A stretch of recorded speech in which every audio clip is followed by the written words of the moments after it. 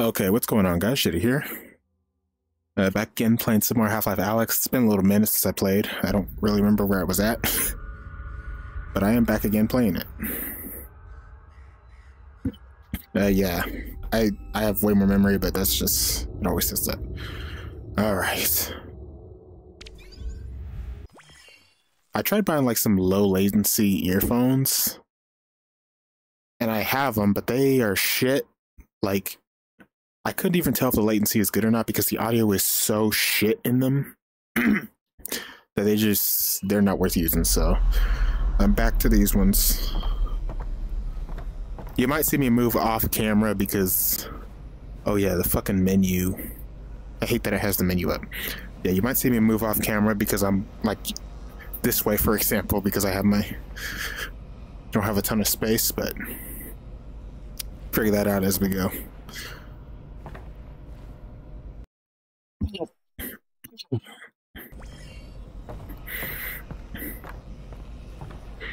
Okay.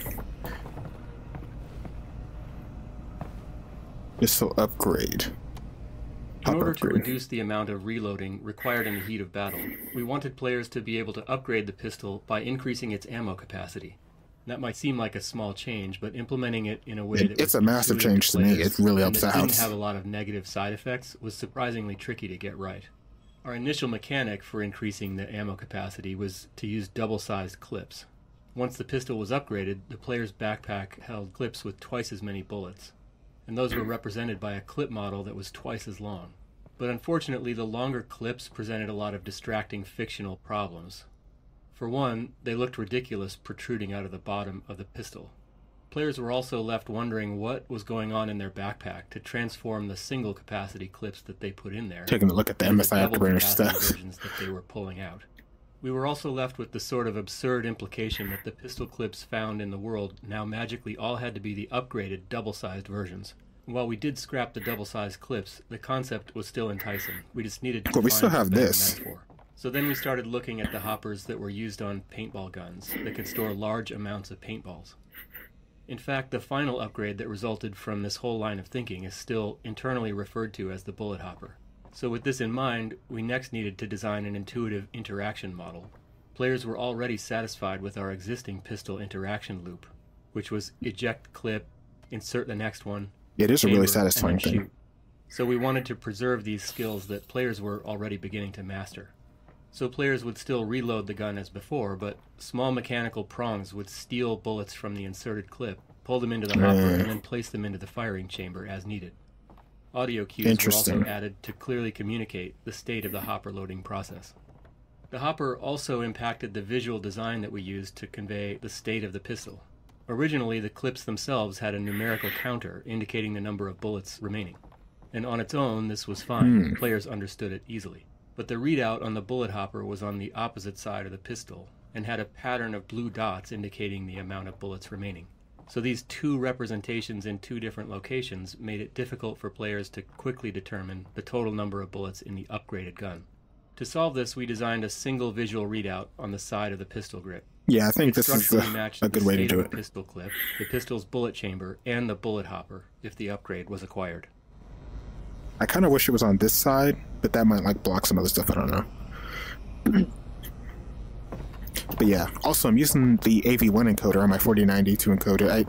I, I will say I had a bitch and a half trying to get it set up because I, I kind of fucked around and was changing some settings in the Oculus software, and then that fucked it all up. So this is a little rant, by the way. You can just get past it. But um, I, I fucked it all up somehow, and when I loaded in to the Oculus software, it was all fucked up like it was all glitchy and things were popping in, and I, I tried to change it back, but it seemed to not really work. So then I just uh, I looked at ways, and I just ended up going with Virtual Desktop, which wasn't so bad. But I have a big problem with the audio where it keeps trying to switch to Virtual Desktop, even though I keep saying don't allow. I guess Windows like Virtual Desktop just overrides it and keeps allowing. So I just hopefully it doesn't do that again while I'm recording, but. We'll see. But with that, I was able to go up to 120 hertz instead of 90, like an Oculus software. I don't know if it's actually hitting 120 or if it's like locked to 90 because the Oculus, I, I don't really know. but yeah, there's that. And um, Like it says I'm getting around 120, I think. Yeah, like it says that in MSI Afterburner, but I don't know if it actually is or not. It probably is. and uh, like I said, I'm using the AV1 encoder, and it looks amazing. I do want to say that on my 4090. So. Oh shit! Not more combine. Dear God. Dear Lord, help me. Ooh. I'm getting some stutters, but it's VR. I expect to have some issues. There's a vent.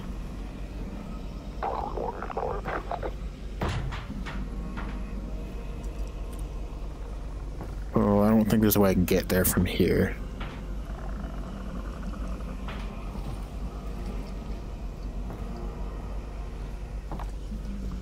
Hmm, how do I... Oh, through there probably. Okay, that makes more sense. oh gosh. and I'm charging my headset, so... Oh my god, I touched my green screen. I scared the shit out of myself.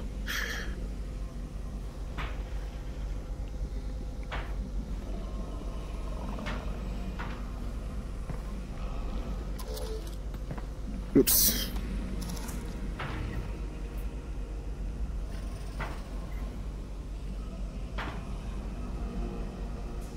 Ah, there we go.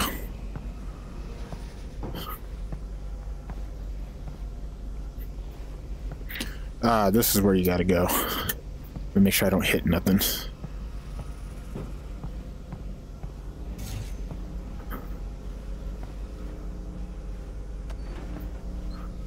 Cool.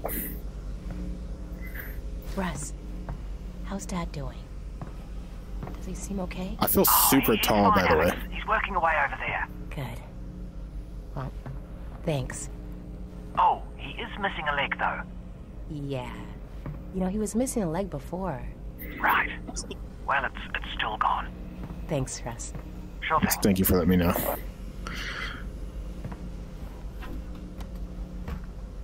Yeah, like I'm extraordinarily tall. I think it's because in the Oculus software I have my floor set up kind of high, but I'll just roll with it for now. I'll change it if it like gets unbearable. Oh, wasn't even going for that, but I'll take it.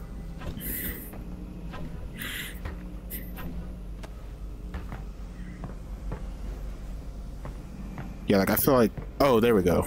Now I feel normal height. I just had to crouch and uncrouch, and that fixed it.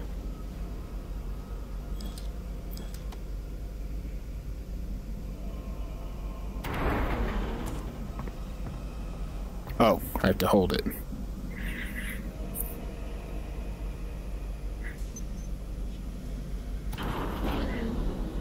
What the fuck? Why is the finger going down?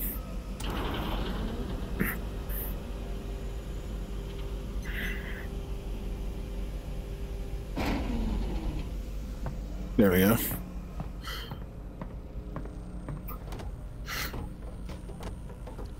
don't remember what difficulty I'm playing on.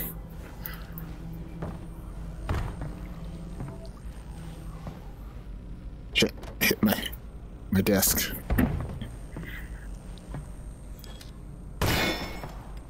Get out of here. Out of the fucking way with you.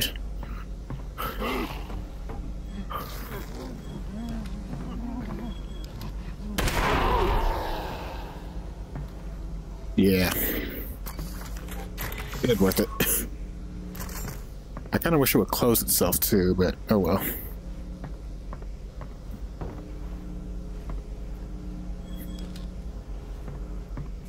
Okay. Let me climb up here and see what's up there. If my aim wasn't shit. Ooh.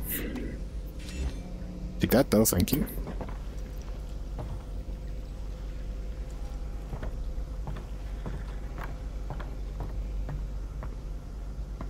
Where I'm supposed to be, I think.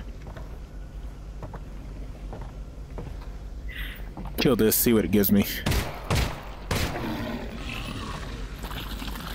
Ooh, that was worth it.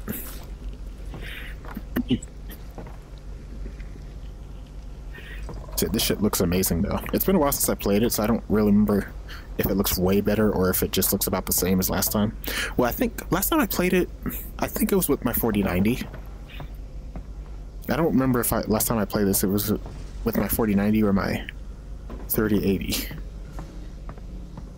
think it was with my 4090, but I don't really remember. Yeah.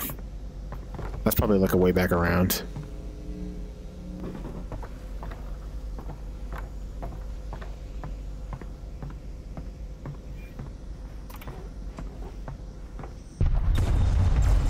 Oh, shit. Are you seeing that? The Vortigaunts are taking down the substation. Yes! Nice. Deploy technician, please, two blocks. Four nine, six four, seven seven. Maintain priority.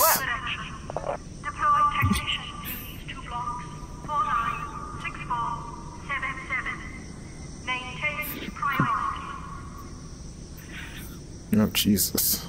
Also, I don't know if you could tell, but I'm playing with a Quest 3 now, so it's the picture's much crisper. I don't, I don't know if that's a word, but much more crisp for me. I don't know if it looks different for y'all, but for me, it looks more crisp.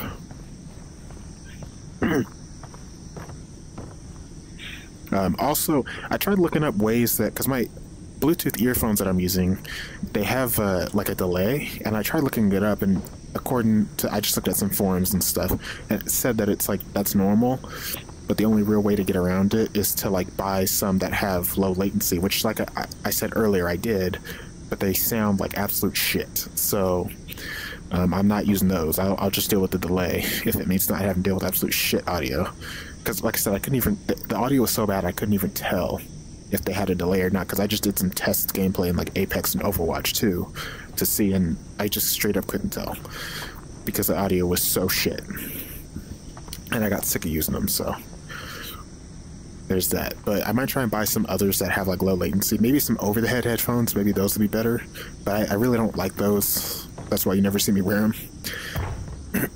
I generally prefer um, earbuds. But I wouldn't be super opposed to wearing some earphones. Come here. Also, pretty soon I'll probably have more room to actually move around in VR without worrying about all this shit.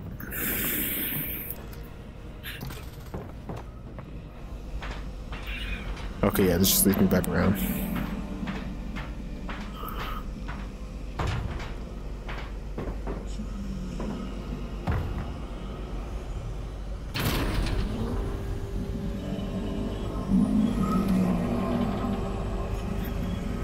Oh, that's really shaky.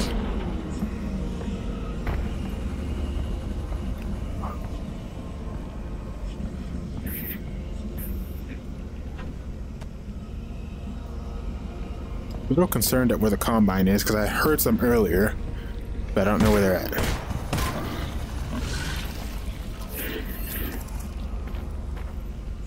Nothing there. Which is why I'm getting out this gun just in case. oh, I think I can hear the. I think that's the combine that I'm here right now. That like machine sound. I'm guessing that's one of their gunners. I'm also hoping this footage doesn't come out laggy because I can't really see it. So I'm just gonna hope it's not lagging or anything. Because I'm using the AV1 encoder to encode like the VR, but I'm using my CPU encoder to do the, the footage, so I'm hoping it doesn't affect it at all. But it very well might, I'm not sure.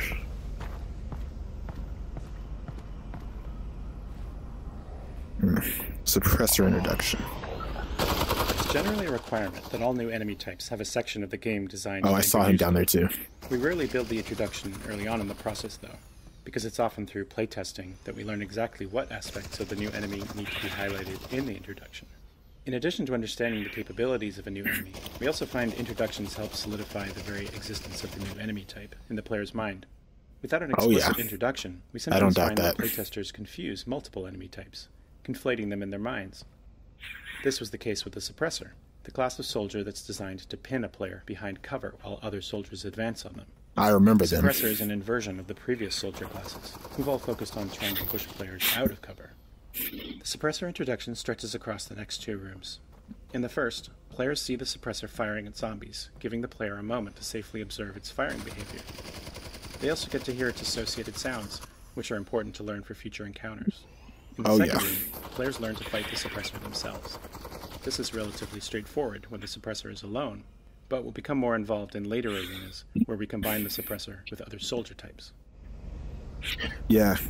The suppressor, I didn't know that's what they were called, but I don't remember. I remember them not being too difficult because you literally just hide. They have quite a long, like, telegraph before they shoot. The shotgun dudes are the worst to me.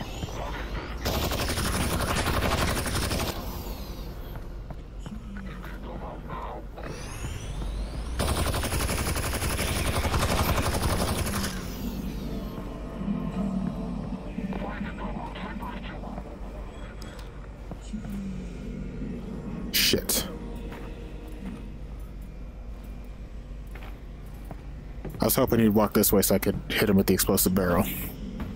But he did not.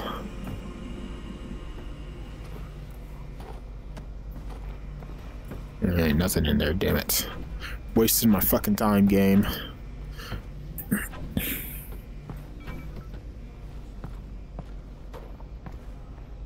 But yeah, pretty soon I might have, I'll probably have a lot more room to uh, actually play VR without hitting shit and still use my green screen and stuff. But it just depends.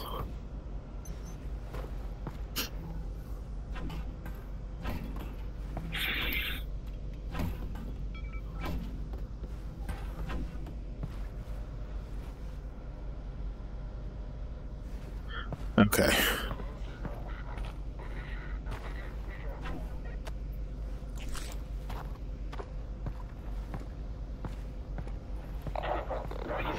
Oh fuck.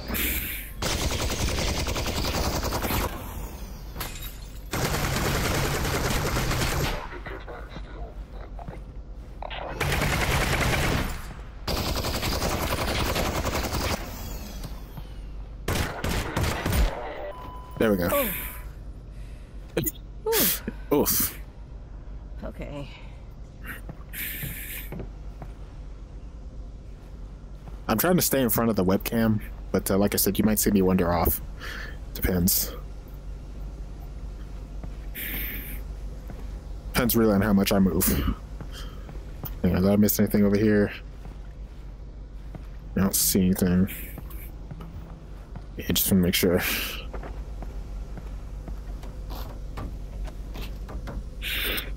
Oh fuck, I just ran my hand across the keyboard.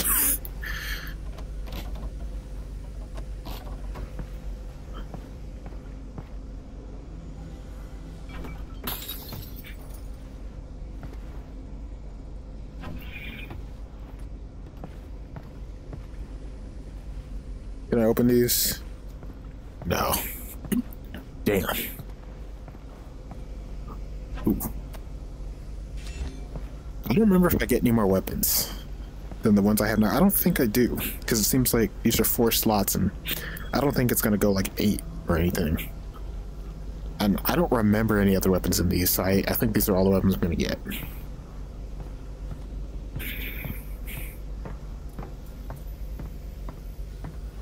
Nothing on your body. Nothing. Well, it's kind of weird seeing it poke around like that. Are these like different levels or something? Yeah, it looks like kind of like sound waves. If you've seen those in like I don't know editing software or whatever, or mixing software, it's kind of what it reminds me of. Okay, there's no direct path from where you are to the vault, so you're going to have to snake your way there. Well, it's huge, so it shouldn't be hard to know which way I'm going. I don't understand what they're doing with it here. If this weapon is so powerful, why keep it locked up in a dump like this? My guess is they're trying to find a way to ship it off Earth, back to their home or some other planet. Why not use it here? They already won this war, Alyx. Yeah, they already like destroyed this planet, and there's there's some resistance, but I, I don't think it's worth like using a massive weapon on us. Probably. Probably a lot of resources. It isn't practical to spend development time or art resources evenly across every part of the game, so we rely on strategic reuse of resources to maintain fidelity and specificity across the game's environments. This space was initially constructed using industrial models and textures seen throughout many previous environments. To set it apart, we added the large cables and Vortigaunt pods to imply a makeshift combine power plant whose purpose was to transmit energy to the substations. Ah, the juxtaposition of this of abandoned It's like a industrial makeshift space with the large they- combine cables created enough visual interest to make the space feel meaningful at a relatively low cost. The cable motif was subsequently Hmm. added to other parts of the game to increase visual interest and give the player a sense of being led toward the vault. It may not be obvious, but the cables hmm. exiting through the ceiling here continue on to the exterior of the building, across the large construction courtyard, and over the roof of the distillery building, back my head presumably itches. continuing on to a substation or other combine infrastructure. Players may not notice that hmm. continuation, but such details help guide us in building a world that feels connected and consistent.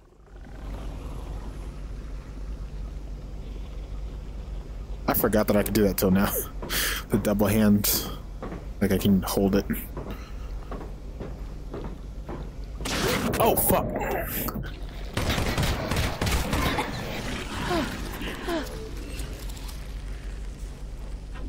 Okay, well, I just walked right into that. I legit did not see it until right when I got up. like I saw it right as I was walking up in front of it. By then it was too late.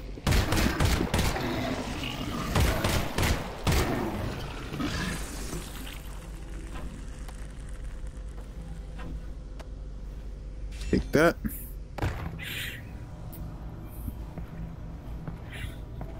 Oh, yes. More stuff. More stuff. Thank you. I don't think there's anything else I really care too much to upgrade, but I have the option to now.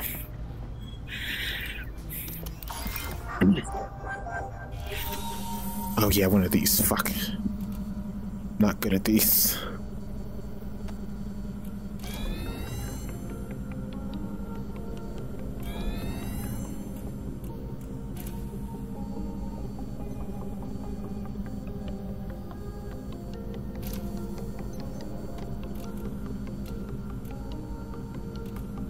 As long as I don't touch it, it's like not considered active. I remember that from last time, where if you don't touch the thing, it won't.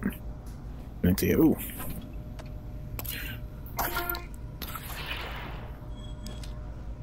One of the few times I actually needed some health. yeah, okay, I can go backwards there, but I don't need to. Yes. Anything under here? No.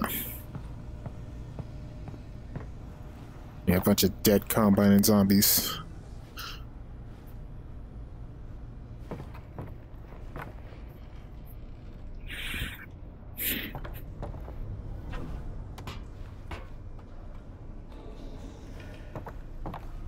Made a lot of things. Oh, damn, you got fucked up. Jesus Christ, man. Look at that. Might be my thumbnail. Look at like the torn jacket and shit. That's pretty cool. And the 50 foot long fingers.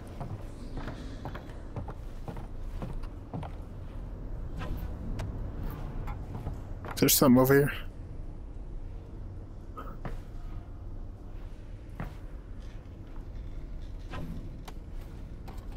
No.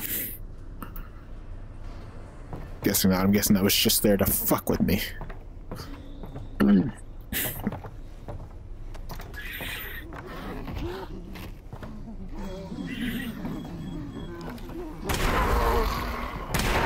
yeah.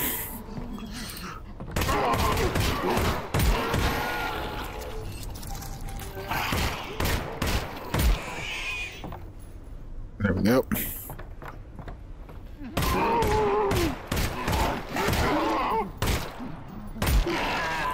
Three left.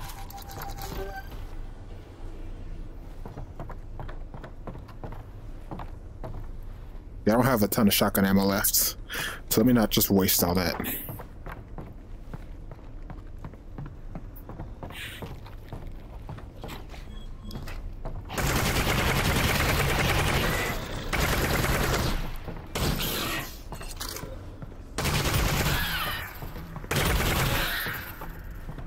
There we go.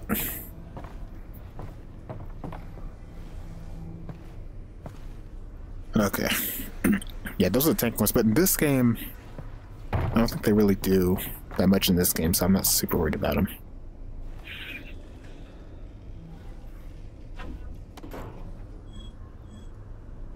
I still have a decent chunk of ammo for that.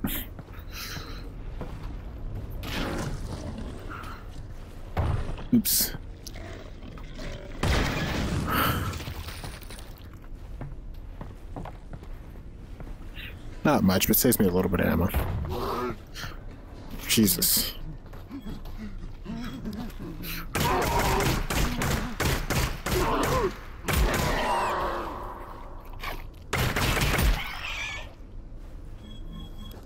Yeah, I'll just waste that bullet and... Because that's a gun I can't just, like, reload anytime I want. I can only reload it. I'm pretty sure I can only reload it when it's... When it needs to be reloaded. No!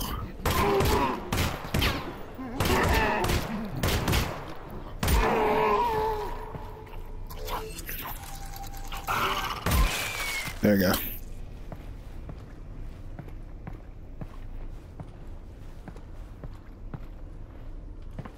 Yeah, this went too far. Oops.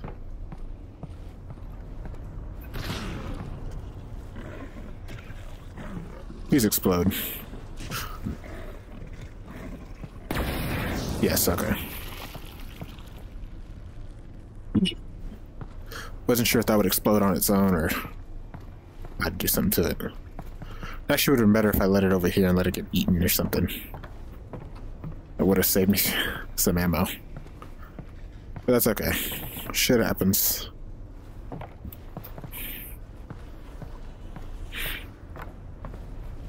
Do I get in there? Oh, from top. I think. Yeah. Yeah. Let's bring this explosive here.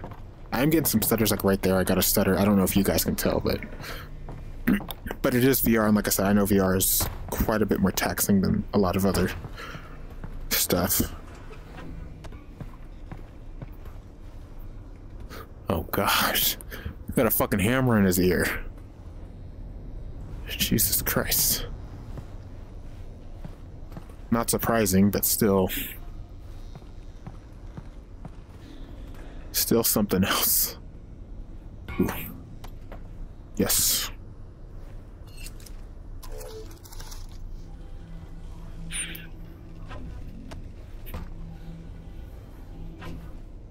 Nothing in there.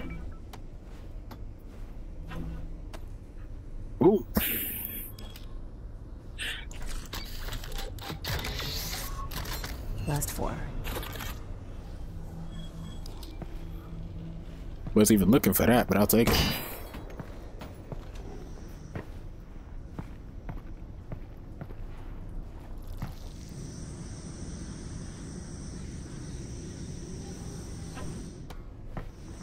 What is this?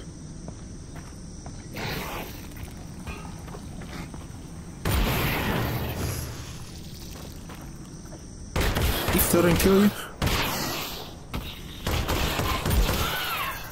Last one. Give me my last, my ammo for this.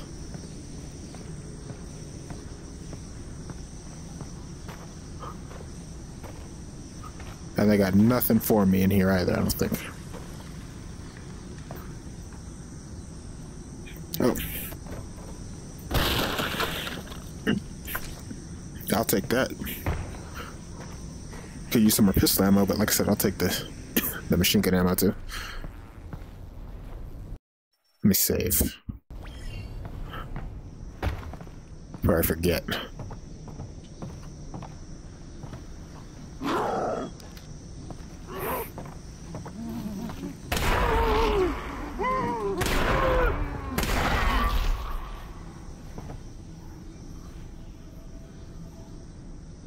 Two dumbasses.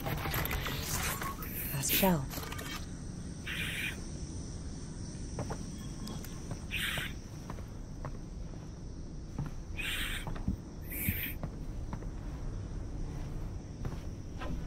bring this with me.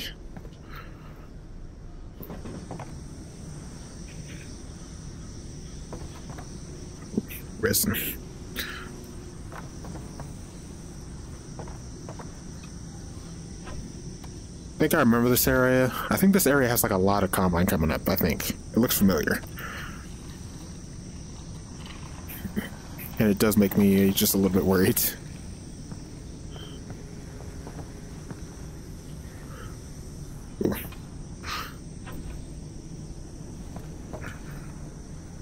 Come here, you. That's right.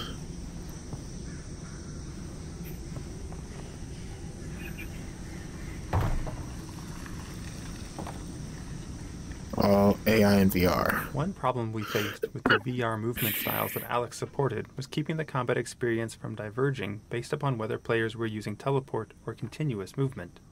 If the combat Oh, was yeah, I can see significantly being a different challenge. depending on the player's movement setting, our playtesting requirements could explode combinatorially. One way that we prevented this combinatorial explosion Combinatorially. was by ensuring Never that heard that could sense player movement, no matter which locomotion style the player was using. To do this, we created a visual proxy for players using teleport locomotion. Imagine a scenario where the player is behind cover, hidden from a soldier's sight. If the player used continuous movement to run to another piece of nearby cover, the soldier would see them while they were out in the open. But a player who instantly teleported from one piece of cover to the next would not be seen. To solve this discrepancy, when a player teleports, we leave a breadcrumb trail of invisible visual proxies, which the enemy AI can see. These proxies pass hmm. information to the AI similar to what it would have gathered from seeing the player perform the movement directly.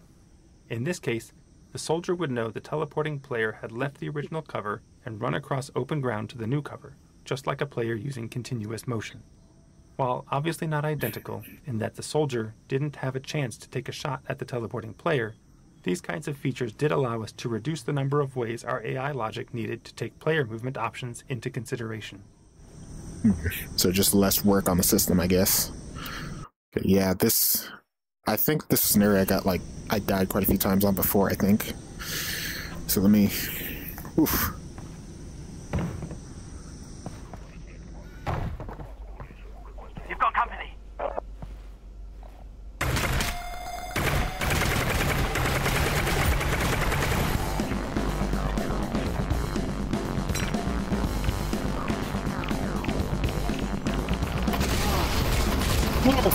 Did not see him. Three left. Yeah, damn. Alyx? I did not see him up still there.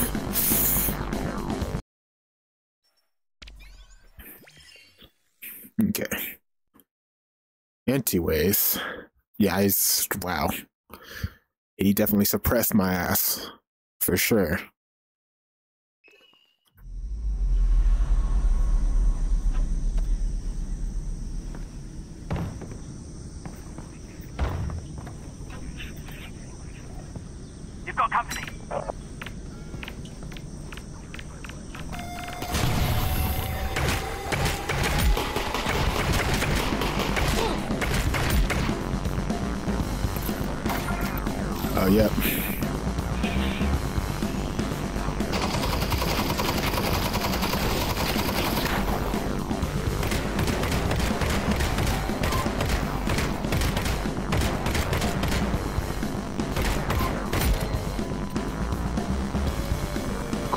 Cool,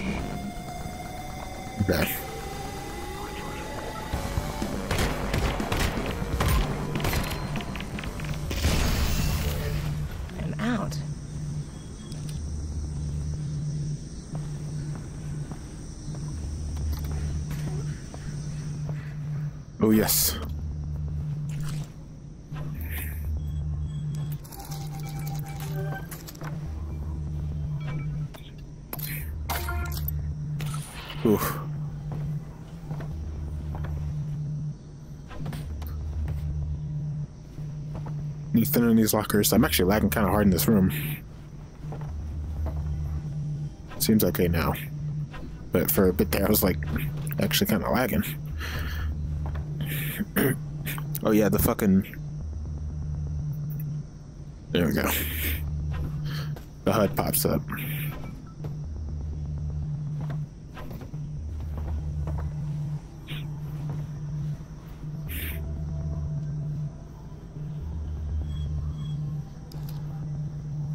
Okay, shit. I'll go ahead and save it here because I still have another save, I think, before. Let's give me a bit of a break. I know there's more, though, coming up. I thought they were all going to show up at once, but no, give me a break here.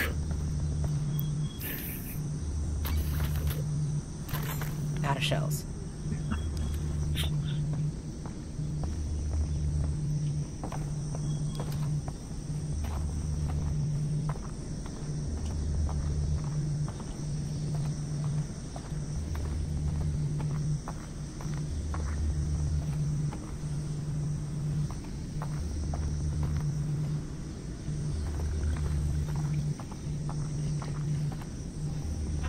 Ooh. Yes, please. I thought they would have shown up like right as I walked down these stairs, but no, it's giving me a little bit more time. Thank fuck for that.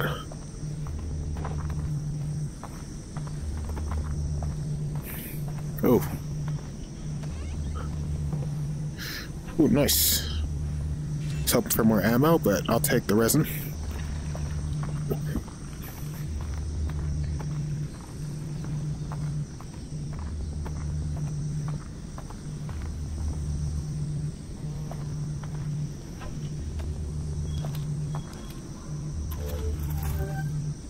There we go.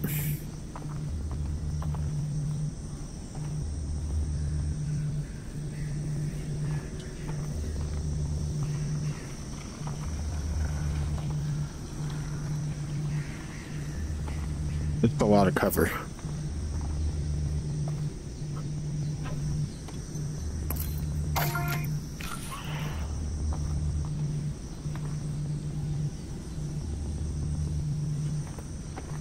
Oh.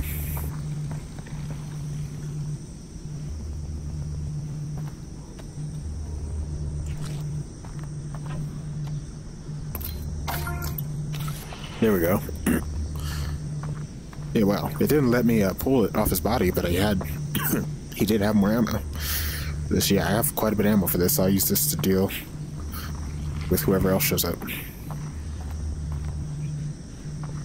I guess fuck it, I'll save real quick then, since I have all this ammo and shit.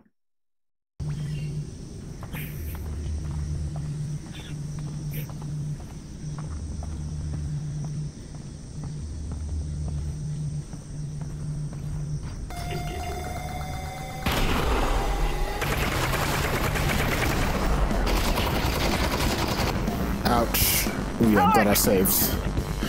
Oof. Goddamn.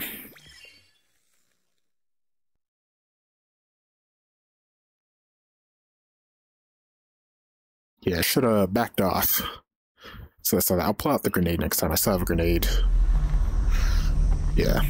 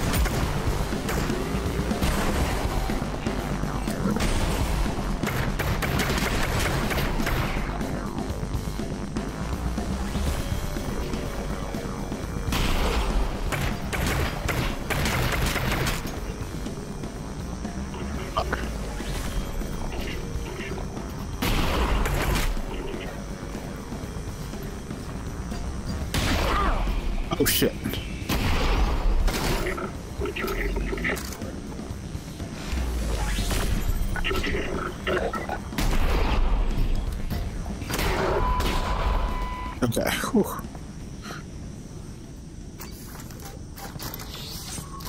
Wasted a shell on this dude, but I'd say it was worth it just to be safe. The, the menu again. So yeah, I don't think you got anything on you. Fucking bum. Not carrying a shit for me.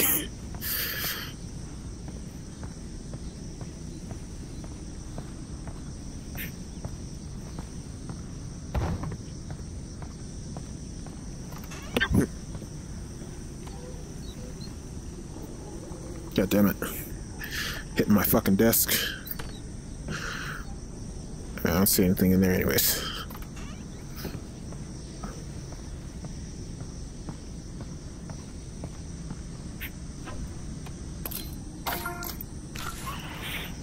Definitely take that, thank you.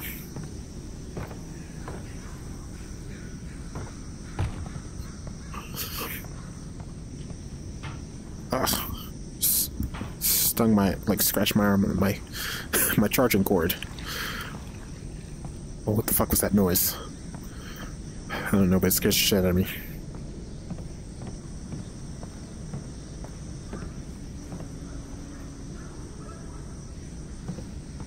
Just seeing if I can grab anything, but no. Oh my god. Ooh.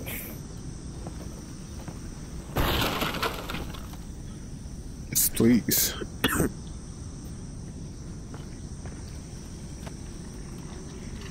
Alright, whatever.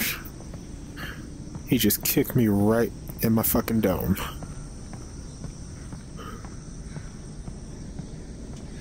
Soundscapes.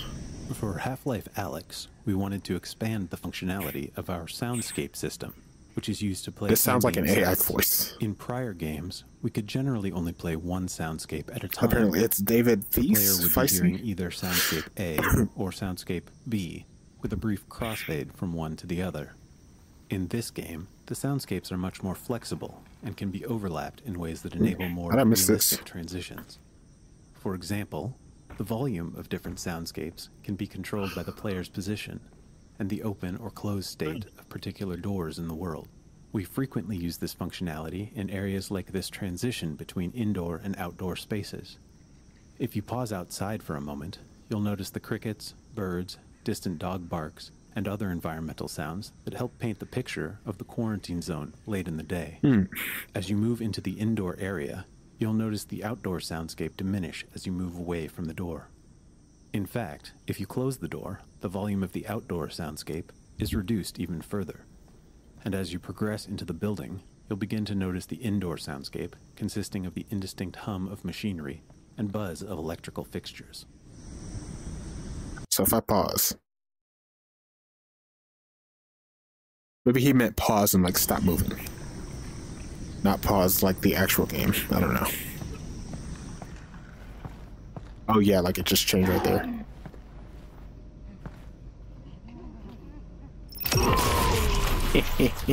Dumbass.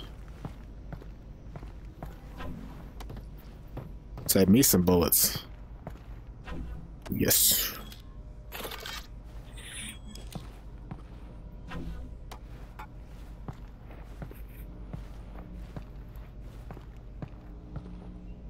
Okay. I don't see anything else up there.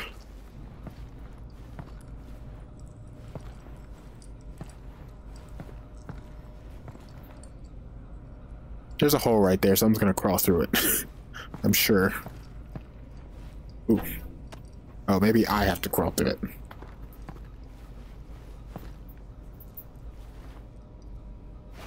Maybe I just can't.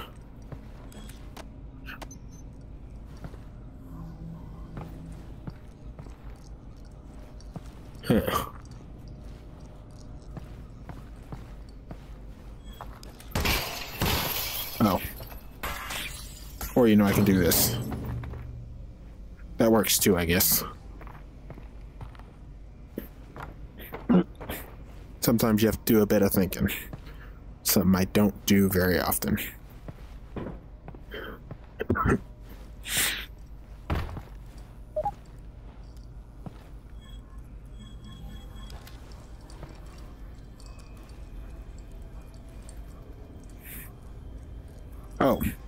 The multi-tool.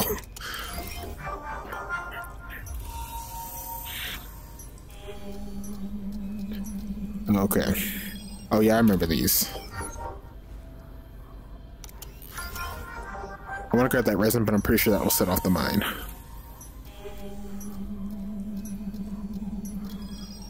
There we go.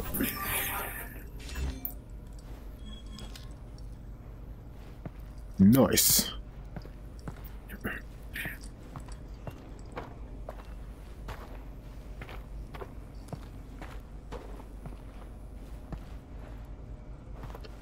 Okay.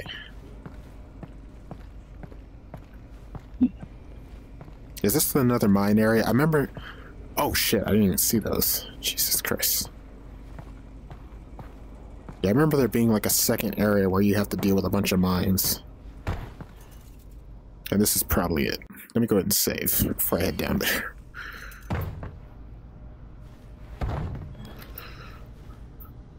Shit, hit my fucking desk again. Yep.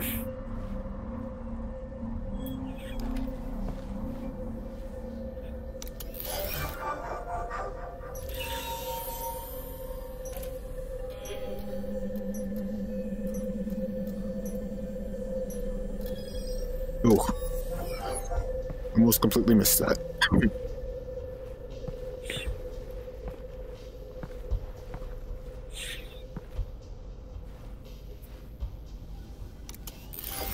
Jesus Christ, man.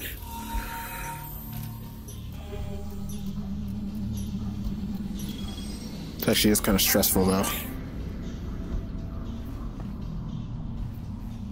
Get the top one first.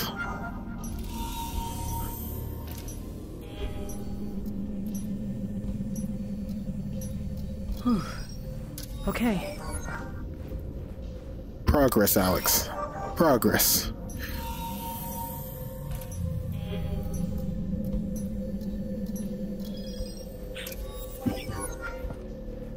There's still more mines over there.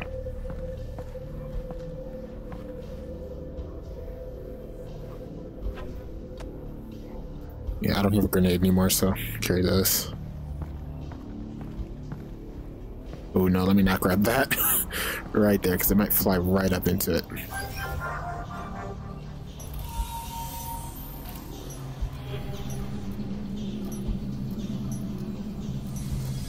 God, I'm getting sloppy.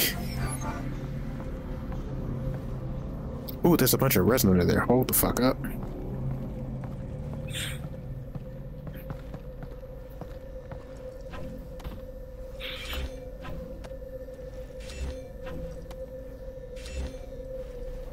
And right there.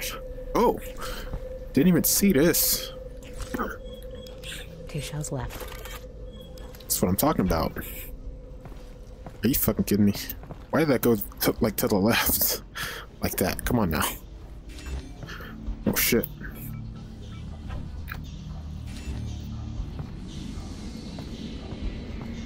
Some intense ass music playing too. But this is actually like an intense situation. 20, okay.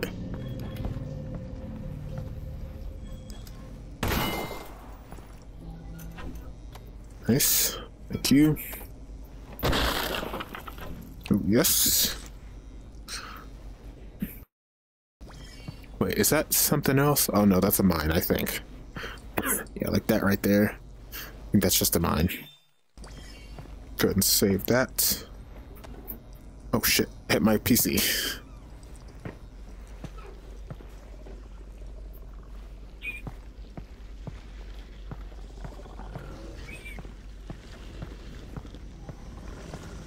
God. Oh, those are those things. Okay. Like, what the fuck is that? Obviously, they're like zombies or whatever the fuck, but wasn't 100% sure.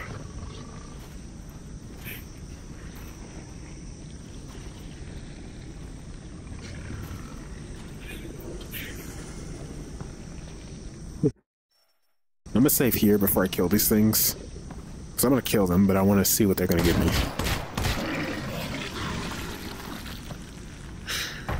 That won't give me nothing.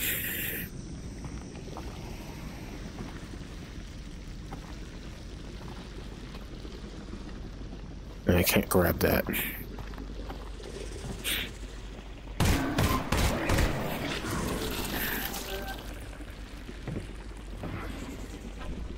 Yeah, maybe I won't kill them. Because that's a lot of... That's a lot of ammo shit. I remember this area. This area, there's like a lot of guys that are going to show up.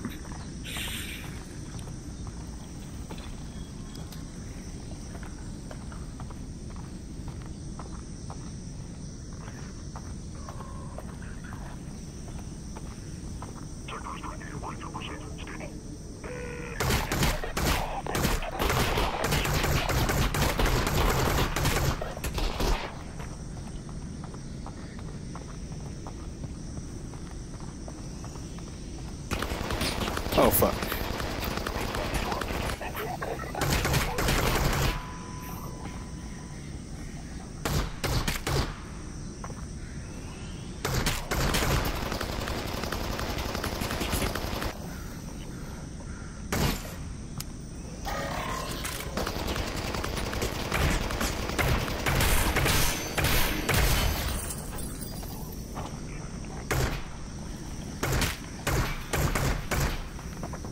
Gotta take out this dude.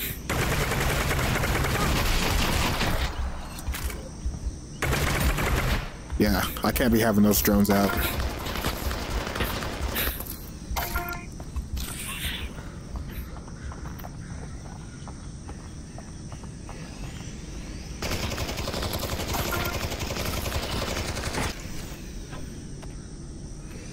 There we go.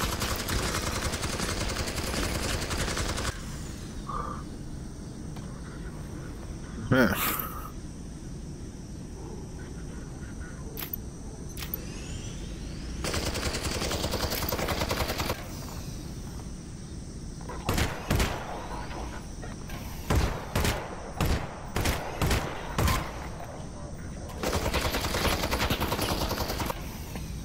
right, big bitch. Ouch. Got a little greedy. There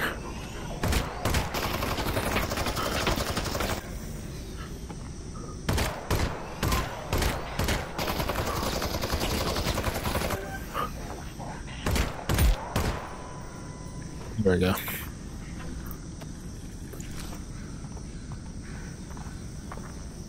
We can take a shortcut through that building. Okay, I don't see a way into this building, so I'm gonna look around. What is this place anyway? It's a distillery. Not as many guys I make thought. vodka and things like that.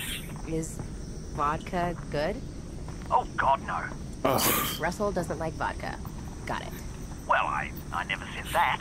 But it's not good? It's poison. But But I love it. Everyone, everyone loves it. okay, that's all very confusing. Let me figure out how to get in, and then I'll find you some. Wonderful if you, if you could, actually, yes.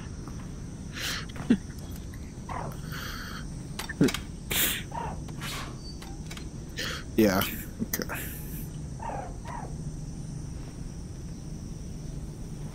Uh, excuse me?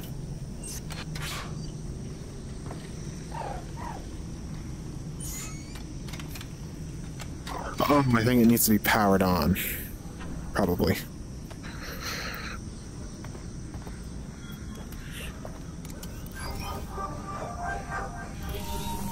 But I assume it is at least. Alright. Let me take a look. Okay, my PC seems to.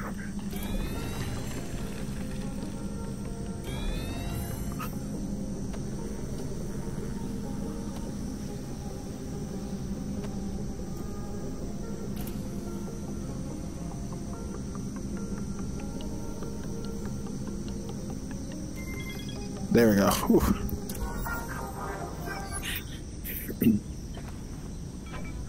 Fuck yeah.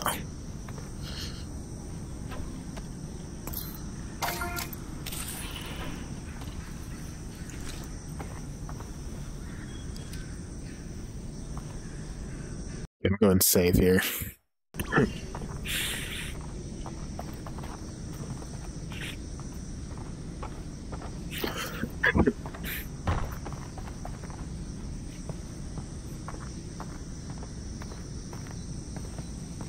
Okay, let me take a look around. What you got for me?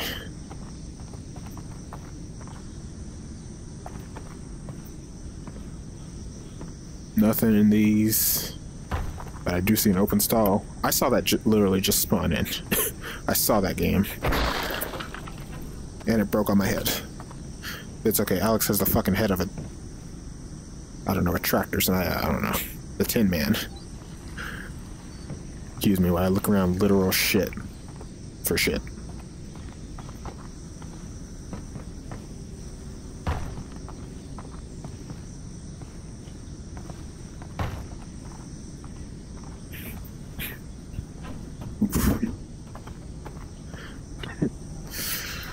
Come here.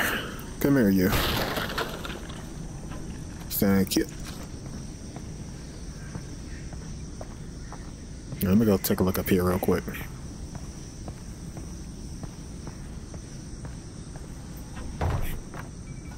Wow, that was laggy as fuck right there, Jesus. Nothing on you? Nothing on you. Fucking bum.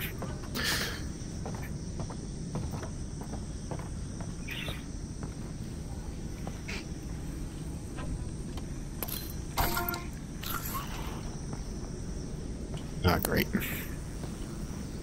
One of these fuckers on there.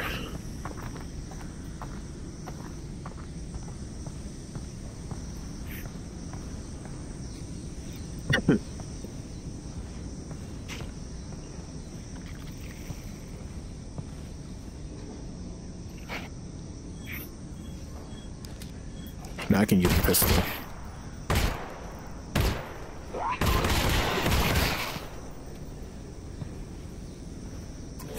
Bitch. Ran away like a bitch.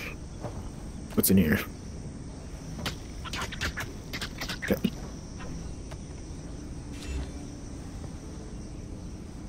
There's a healing thing over there, but I already have one that I put in there. Thank you. You know, I want to look up to see if someone beat this game without killing anybody.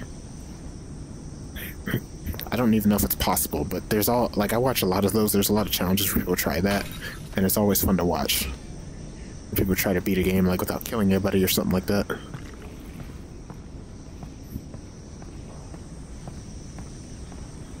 I always enjoy that type of shit.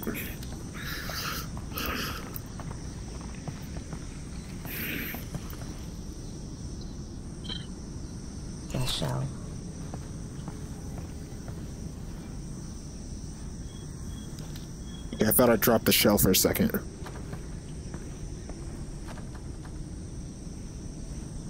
Oh, there's a lock too. I was like, what the fuck is stopping me this time?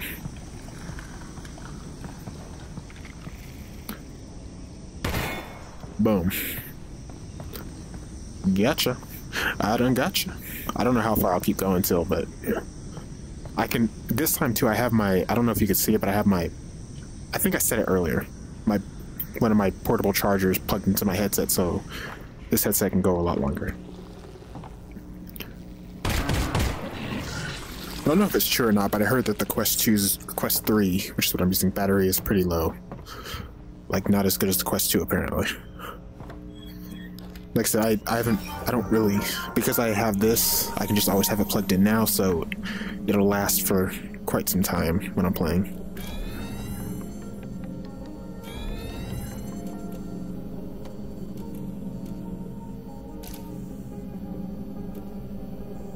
Just let it go.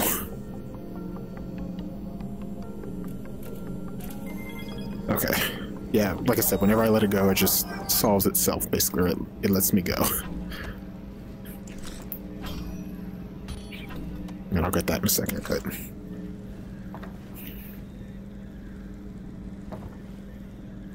Oh, I think I need to turn the power. Who's back? I got the drone Oh. up and running again. I was about to shoot that shit. Oh, nice! I remember this shit got destroyed. you outside.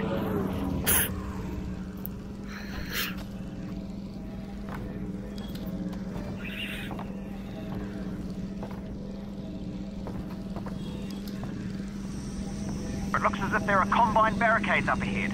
They're stopping anyone from getting any closer to the vault. Okay, Yeah. What do you think? Make your way into the distillery and see where it takes you. With my drone back online, we've finally got the on. No, you're kidding me.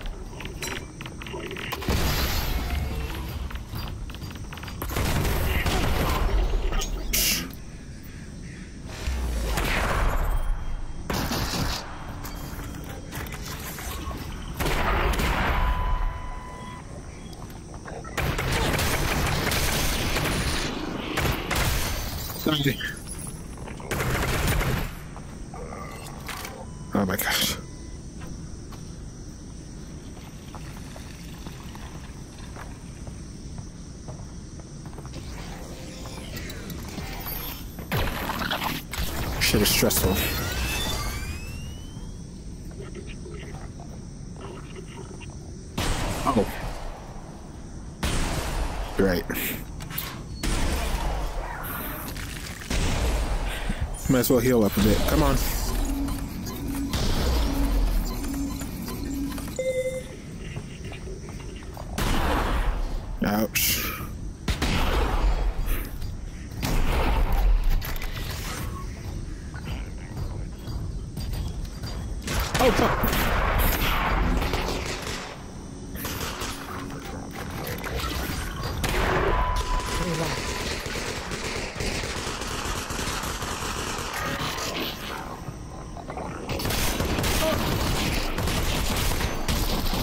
Damn it. Alyx? Oh, Alyx, you still there? man, that shit was harsh. Alright, yeah.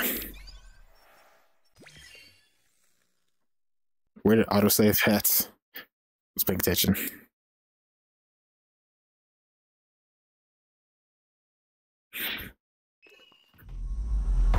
Okay, right after I killed him.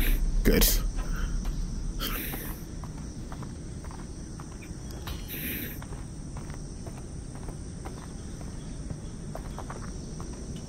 Nothing on you. Damn it.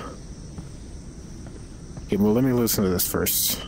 Ladders. For our teleport and continuous locomotion modes, we provide corresponding ladder climbing methods.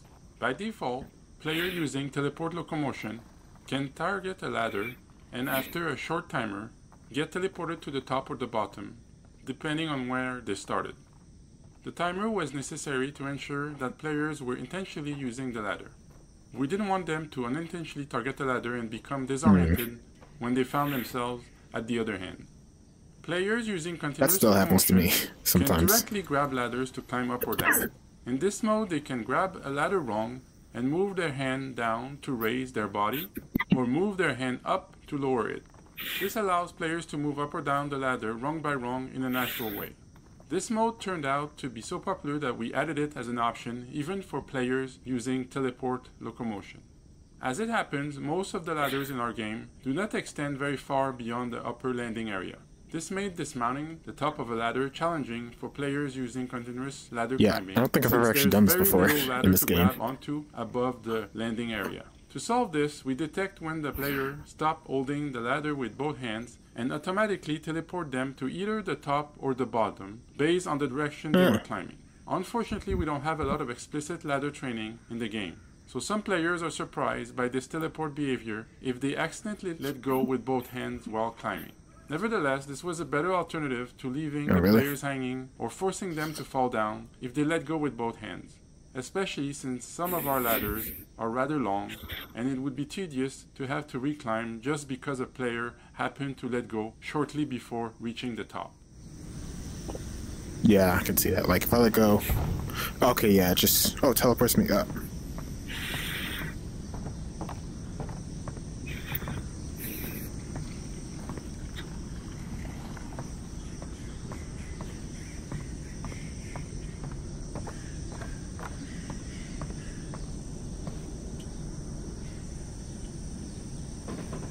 There we go.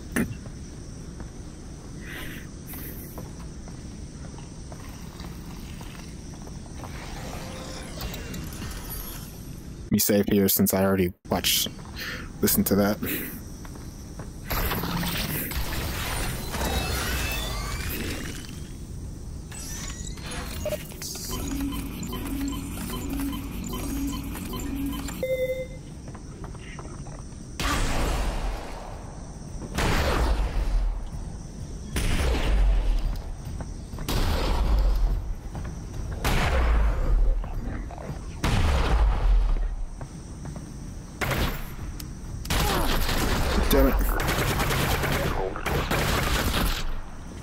He just shredded me. Jesus.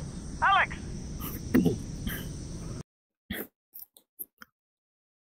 Yeah, he just like completely obliterated me. My god.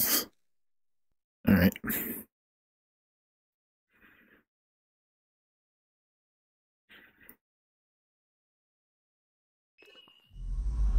I just realized I didn't have this strap on.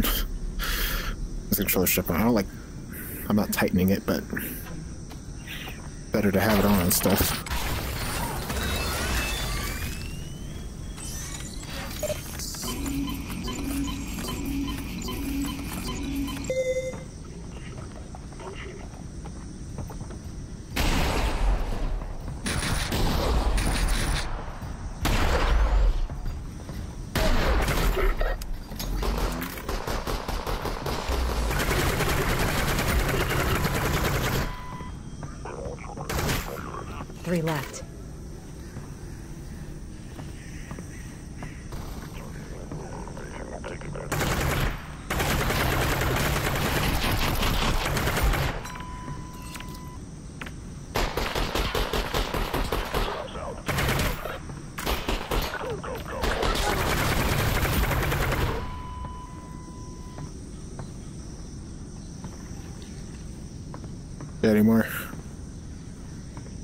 Hopefully that's it.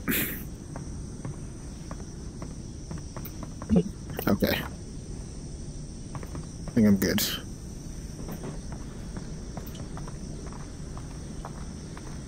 Whew.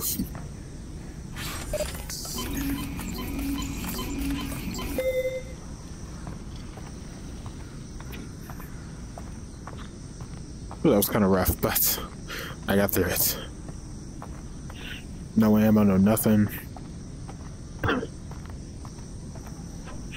Ooh, yes, please.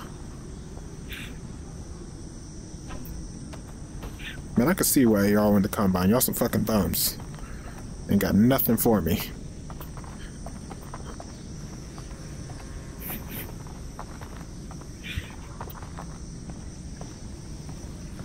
Oh yeah, let me go activate that.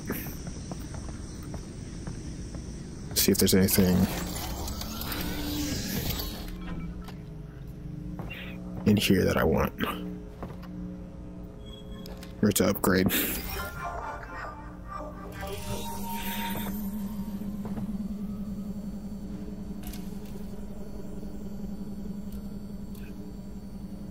Hmm. I see. So those three.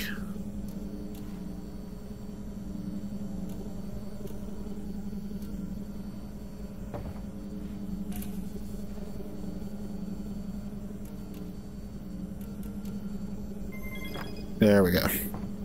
Easy peasy.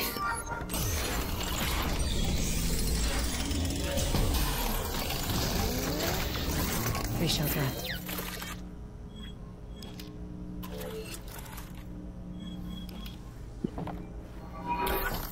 What did I put on that? Oh, just a reflex sight. Yeah.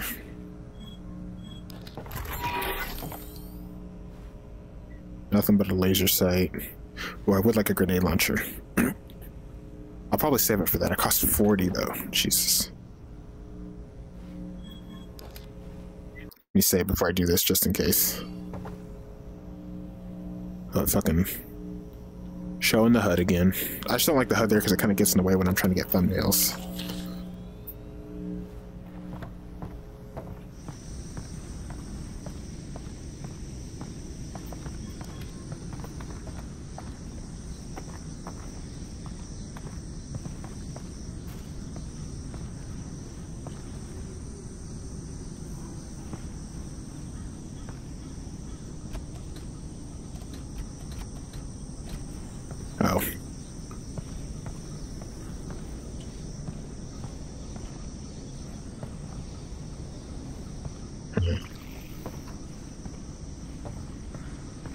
Guessing I still need to do something in there.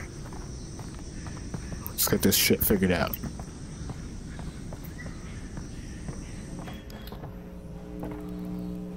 Oh, yeah, this. Oh shit, hit my. Oh, I didn't even realize I was facing my green screen. Let me turn away. Y'all getting a shot of my bodacious buns for free. Can't be having that now.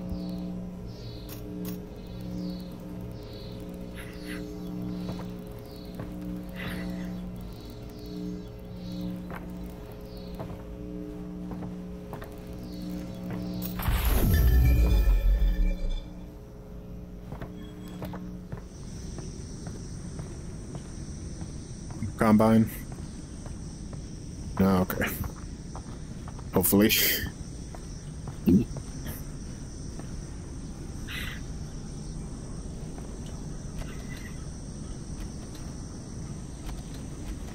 No, still not working.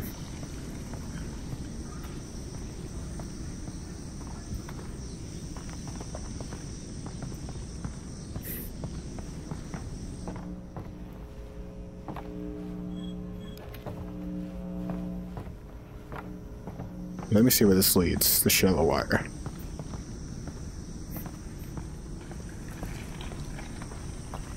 I don't know if this is the same way or not, but I'm gonna assume it is. Oh, yeah, it just leads there.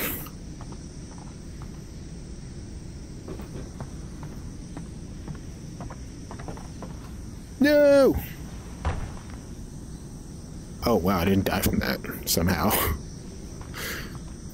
I'm sure someone in real life could survive that too, with probably little to no injury. Probably. Mm, I'm not seeing anything there. Fuck. Yeah.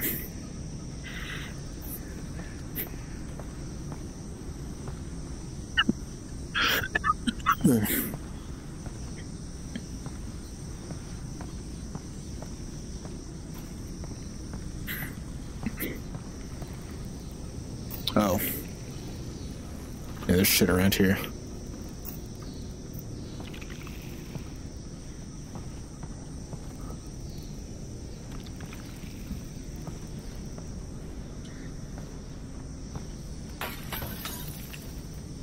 Yeah. Get out of here. There we go.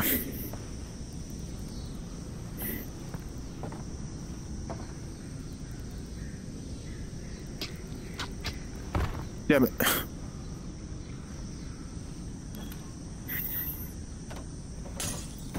Get the fuck out of here.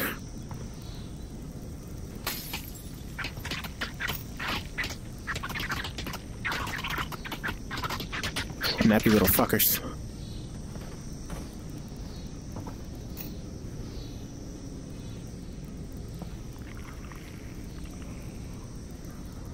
Oh. Pissing my green screen again.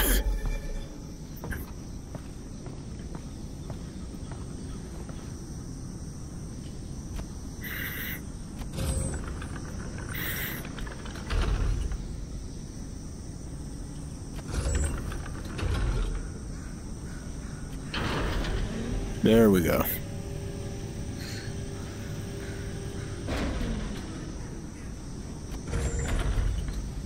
Okay, yeah, now I gotta go up top.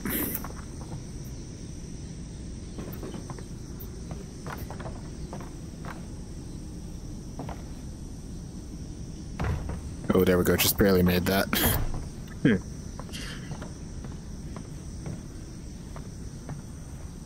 Let's go ahead and save here too.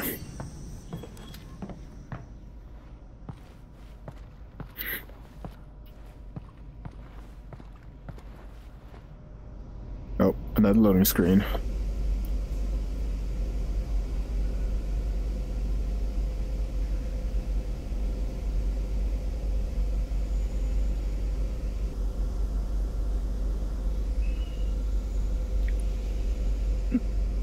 My battery's at 69. Nice. I don't think you guys can see this because I'm in the Oculus menu right now, but There's definitely a bunch of old bottles in here. Does alcohol oh, is this bad? where Jeff's gonna be? It only improves. It's all good, Alyx. Russell, you're breaking up. The vodka is good, Alyx. The vodka is good. Yeah, this is gonna be the Jeff section. I'll probably play through this and I'll probably stop. Some of our earliest experiments on the project involved placing old Half-Life 2 models in a level and walking around them in VR. These included static models of enemies, like Combine soldiers or zombies. We found that players really enjoyed being able to inspect these models because VR let them get much closer than they'd been able to in the past. Players reported getting cool. a sense of the true size of the characters and would often point out details that they had never noticed before, even though they had seen these models many times throughout Half-Life 2. These reactions led us to the idea of creating an enemy that took advantage of that experience, one that required players to spend long periods of time in close physical proximity to it. But enemies typically don't let the player get near them without attacking, so we felt it made fictional sense for this enemy to be blind, and to feature non combat gameplay as its focus. I did not Non-combat need gameplay as its Oh, focus. Early experiments with guiding a blind creature using sounds were immediately interesting and gave us a way to create scenarios unique to the product. Thus, the concept for Jeff, known as the blind zombie internally, was born.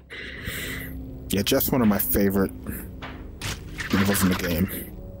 Like this shit's a ton of fun. I don't have a gas mask like I did. I tried to wear one the whole time, but it looks like they took it off. But I do remember finding that out the first time I played that if you wear a gas mask, it'll stop you from coughing. You don't have to cover your mouth anymore.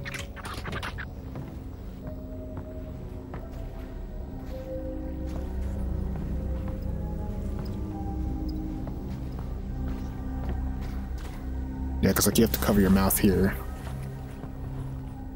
Xen ears. The Xen flora you see on the wall here, to stop yourself from coughing to alert Jeff. Xen ears for obvious reasons, animate in reaction to the same sounds as Jeff. Early in development, we would observe situations where playtesters would fail to notice Jeff becoming enraged by a sound. If the player died as a result, they felt frustrated and wronged. We worked to make Jeff's animations and sounds communicate his level of aggression to the player as clearly as possible. But if players weren't looking at Jeff, they could still be caught unaware. Adding these Xen ear growths to the environment was a way for us to help players be more aware of Jeff's reactions to sound. The Xen ears work as an extra layer of visual feedback for Jeff's behavioral state, one that lives in the environment instead of on Jeff himself. Hmm. Just shot glasses and a fucking head grab. I do want to say that the Quest 3 has been really nice because it's lighter, it's smaller. I actually don't know if it's lighter, but it seems like it's lighter. It's definitely smaller. and then I also bought a headset strap with it immediately, so I haven't even used the strap it came with. But it seems to not be that much better, if at all, than the than the Quest 2 strap from what people have said. But like I said, I I just immediately bought this strap with it that I'm wearing now, so I haven't even tested it with that.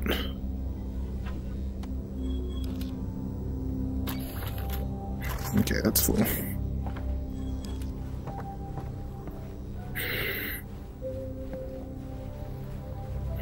Come here. There we go.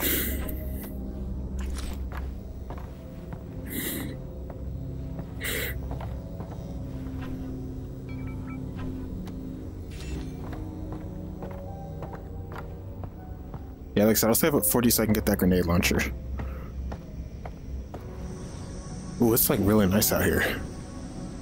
Alyx, Look come at in, Alyx. birds. Alyx? I'm here. Well, oh, there you are. There you are. There's no straight shot to the vault. I'm gonna head inside and find a way out.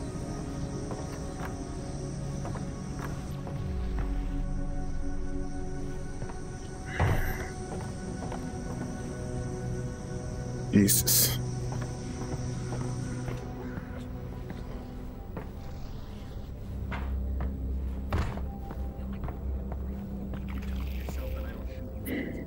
Alyx! Same You're never gonna believe. Russ? Oh god. Oh fuck, I hit my knee on my stool. Jesus. Alright. Right from the beginning of development, we intended to feature a variety of visually distinct Xen flora and fauna in Half-Life Alyx. But we didn't yet know how these visual elements would be used to craft interesting gameplay. Referred to internally as Xen clams, The Xen plants you would see here were originally built to add visual flavor snap, to the world and were only lightly interactive. They would track the player's head and hands and would close tight if the player got too close. When we began working on Jeff, we wanted to find surprising new ways to use sound as a core gameplay mechanic. In particular, we wanted to make players wary of the environment around them. We realized we could use the Xen clams as a type of noise hazard by They having them repeatedly snap Maybe if I shoot open and shut when approached by the player. It We is kind of satisfying sound. These clams in earlier parts of the game, which meant that players would reach the distillery with an understanding of how they functioned. The introduction of Jeff changed the player's relationship with the Xen clams, as they went from being harmless but annoying to a dangerous hazard that players would need to take care to avoid. Interesting.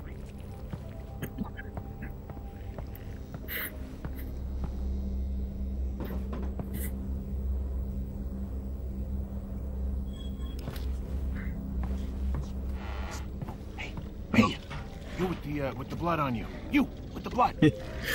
hey, uh, Larry, is that your little name? Situation here. Yeah, you sure do. You, uh, you don't happen to have a gun on you, do you? No, I, I don't. look at that.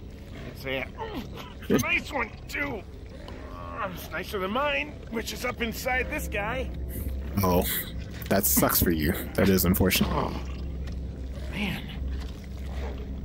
You know, I agreement. You keep your tongue to yourself, and I don't shoot you in it. Thanks. There's Jeff. What the hell was that? Oh, that's Jeff. Jeff? Oh, don't worry. You can't see. Ears. Just got an ear like Mozart. Who? All right. Now let me help She doesn't know who Mozart is. All right. See you on the other side, Greenhorn. And keep your voice down. Jesus. I remember uh, one thing I forgot to say earlier is when she was talking about the vodka. That I remember. I think that that was about the time in my first playthrough of this game that I was like, "Wow, how young is she?" Um, yeah, I think that she's 19 in this game. I think, and I think in Half-Life 2 she's 25, if I remember correctly. Please correct me if I'm wrong, but Early versions of the distillery explored a variety of methods for subtlety, teaching players how Jeff works without any Yeah. explicit exposition. Though some of the training techniques were quite successful, anything less than a complete understanding of Jeff's behavior resulted in players bungling their way through this section of the game and having a terrible time doing it. Eventually, see that. we determined that explicit training was necessary, and that's where the character of Larry came in. Larry acts as a gate, delivering critical information about Jeff's behavior Yeah, they mentioned allowing gates the player before. to proceed. It's a dense learning environment and a delicate balancing act, ensuring that we deliver the rules of Jeff while still making Larry an interesting character. To spread out the exposition, you'll notice that it's distributed over a few different story beats as Larry first introduces Jeff, then demonstrates Jeff's predictable reaction to a breaking bottle, and finally explains that the player can prevent their own coughing on Xen spores by covering their mouth.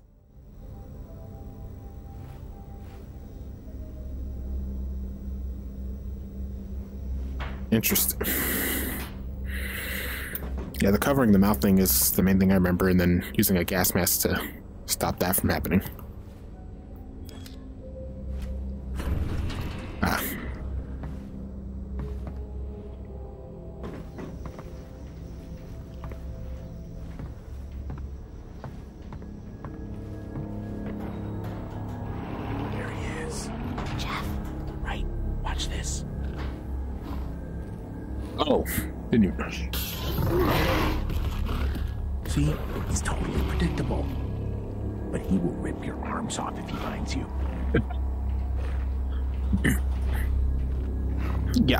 There's a way to kill Jeff, like if he just takes a fuck ton of ammo, or if you just straight up can't kill him. I'm guessing he's unkillable. But yeah, I remember in this episode of, of my first playthrough of the game, it sucked because I, I accidentally muted the audio, and I didn't realize it. It, it kind of fit the theme of the episode, so it was like, oh, I could play it off like that, but man, that fucking sucked. I lost the the gameplay. I, I still have my microphone audio, but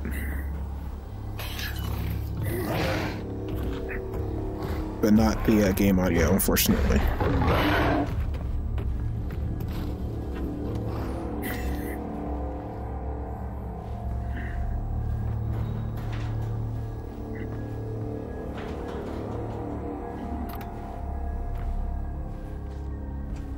Hey, hey, Those things are nasty.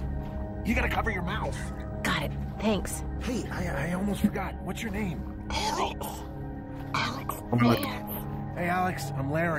Nice to meet you. Try not to get killed. that's cool. It actually like was muffled when I covered my mouth.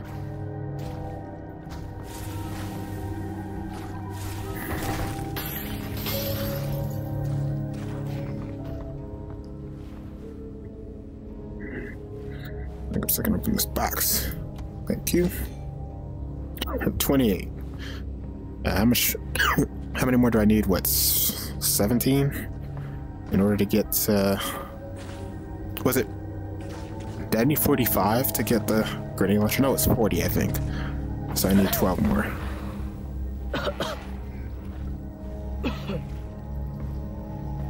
Hey, hey, cover your mouth so you don't cough. A core element of both the environment and Jeff himself are the Xen plants seen here spewing toxic gas that makes the player cough. These were not created to be merely ornamental or to support the novel VR interaction of players covering their mouth. They were added specifically to solve a mm-hmm. long standing challenge that we had with illustrating Jeff's personal space. One of the trickier aspects of designing Jeff was striking the right balance between perceived threat and actual threat. Many scenarios in the level mm-hmm. force the player into close proximity with Jeff in order to create tension. We found that these moments could be exciting, but they could also become frustrating when players accidentally got too close to Jeff and were killed unexpectedly. Players reported not understanding how close is too close. We tried a number of solutions, such as adding glowing tentacles to Jeff that acted as a visual representation of the Oh. perimeter of his personal space. Interesting. Touch the tentacles, and you die. Getting the look and feel of these tentacles to a satisfactory place proved challenging, however, and we backed away from the idea. Another problem hmm. we encountered was that a subset of our players quickly became comfortable around Jeff once they became adept at keeping their distance from him and avoiding sources of noise. For these players, dealing with Jeff felt trivial. He simply didn't feel like a threat to them. We discussed a variety of potential solutions to these problems, even wacky concepts, such as giving Jeff the ability to teleport to sources of noise. But it was difficult to Oh come up with ideas that didn't feel like we were giving Jeff the ability to cheat. Eventually, we came Yeah. up with the idea of having the player cough. This was appealing, as it gave us a way to make the player themselves a source of noise, thus causing Jeff to pursue them. We were also interested in making the environment more dangerous generally, and so our first experiments with coughing involved littering the level with Xen plants spewing toxic gas. Initial tests showed a lot of promise. Players now felt like Jeff was a dangerous pursuer, and they must carefully observe the environment to avoid the gas. We observed that players had a natural instinct to cover their mouth with their hand to suppress their cough. This was an affordance that VR with tracked hand controllers supported very Yeah, naturally, so we implemented this mechanic right away. This still left us with the problem of players being unsure of how close they could safely get to Jeff. We realized that the early experiment of adding tentacles to Jeff could be replaced with a much simpler approach of attaching a toxic cloud directly to him. There were multiple benefits to this.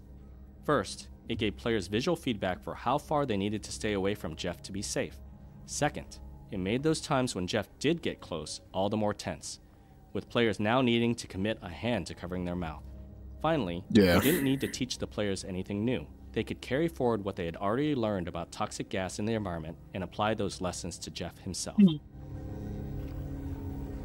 Yeah, that's interesting. To me, it still doesn't make him that big of a threat with the covering the mouth thing, but it is more of a challenge.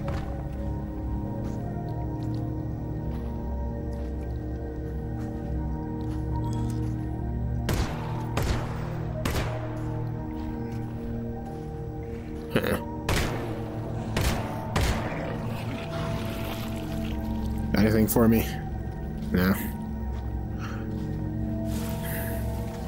Single controller mode. One of our major goals in the design of Half Life Alyx was to reach the widest possible audience. This meant developing for all of the major VR hardware in the market, as well as accommodating different sized play spaces, traversal preferences, and so on. The accessibility option that had the most knock on effects into the design of the game, from controller bindings to game logic to level design, was the support of a single controller mode for players who don't use two controllers. In this mode, reloading is performed by moving the weapon to the shoulder and pressing a button, much like arcade Oh. games which require the player to fire their weapon off Yeah, screen kind of like reload. I remember those as arcade games where you shoot off screen or over the shoulder. To attach to the primary hand, and gas masks were those added bring back so some memories. can muffle their coughs hands free. Even the gun used in the final Strider battle, with its two-handed aiming and reloading controls, was modified to be operable with one hand. Hmm. I didn't even know there was a one-handed thing. I guess there's all kinds of VR shit out there. Oops, did I drop something?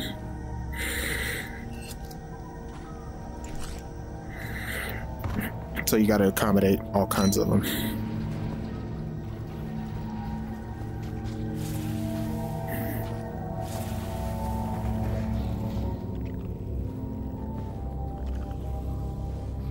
Just attack. As we refined Jeff's behavior and visual design, we thought a lot about how we wanted players to feel about him. The goal was to have playtesters describe Jeff with words such as menacing, threatening, and deadly, and for that reason it became important that players not survive if they got too close to Jeff. So we decided that his attack should result in instant death.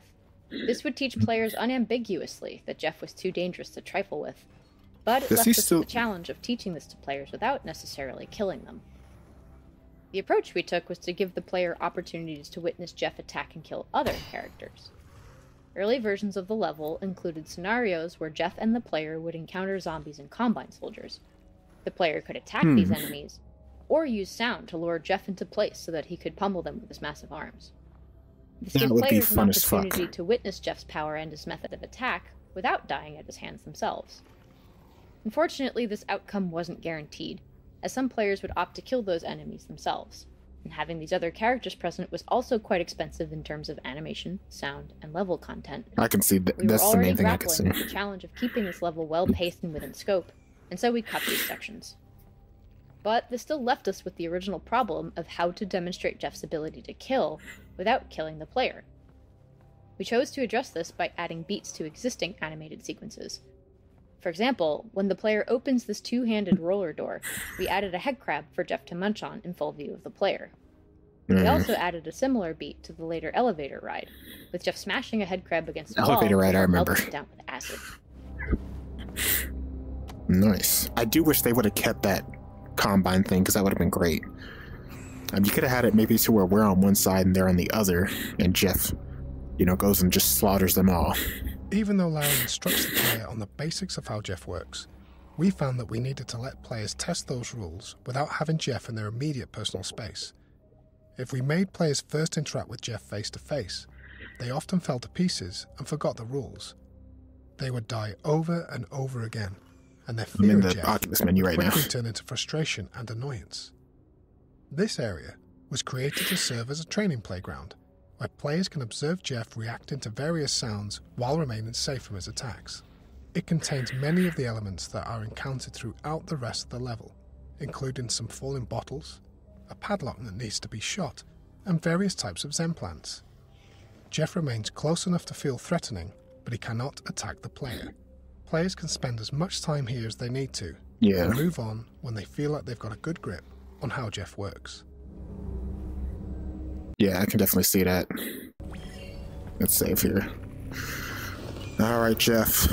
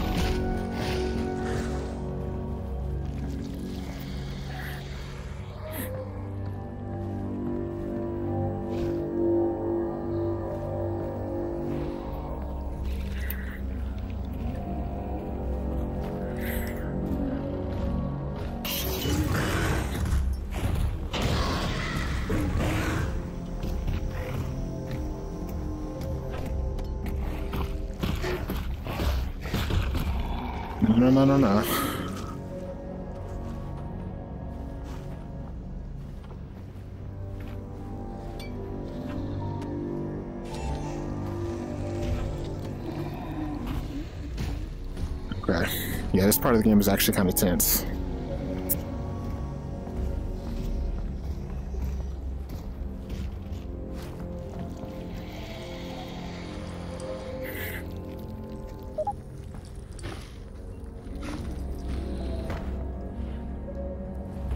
Jeff's design. Jeff's character design went through several significant revisions over the course of development.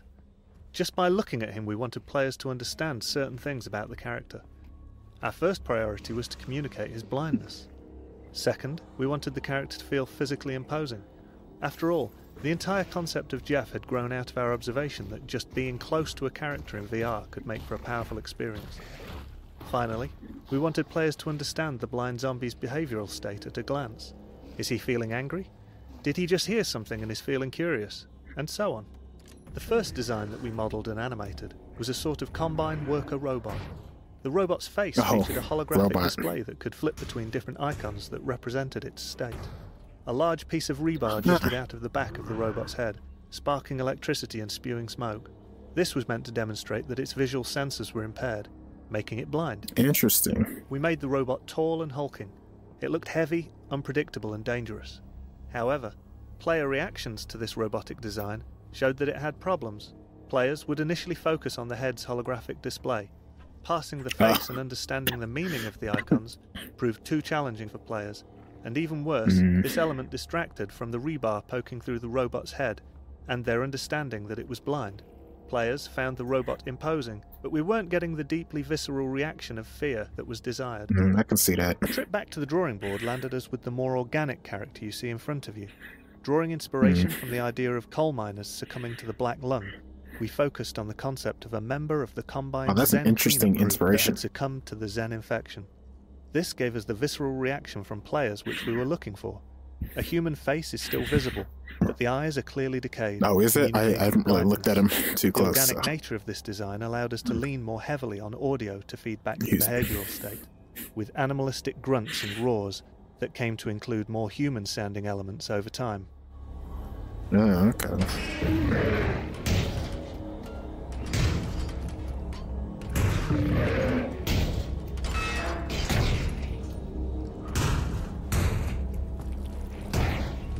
Yeah, I remember that, like a lot of this part from the first time I played, because it was just that good. It was really memorable to me.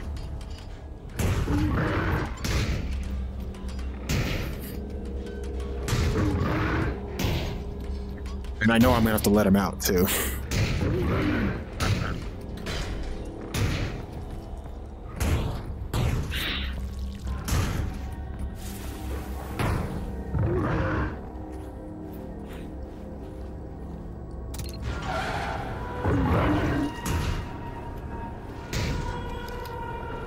I, remember, I don't know why, but I have to let him out. I think that there's like an electrical thing I have to solve.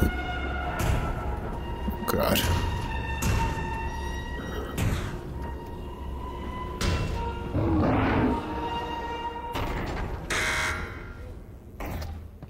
Yeah, of course.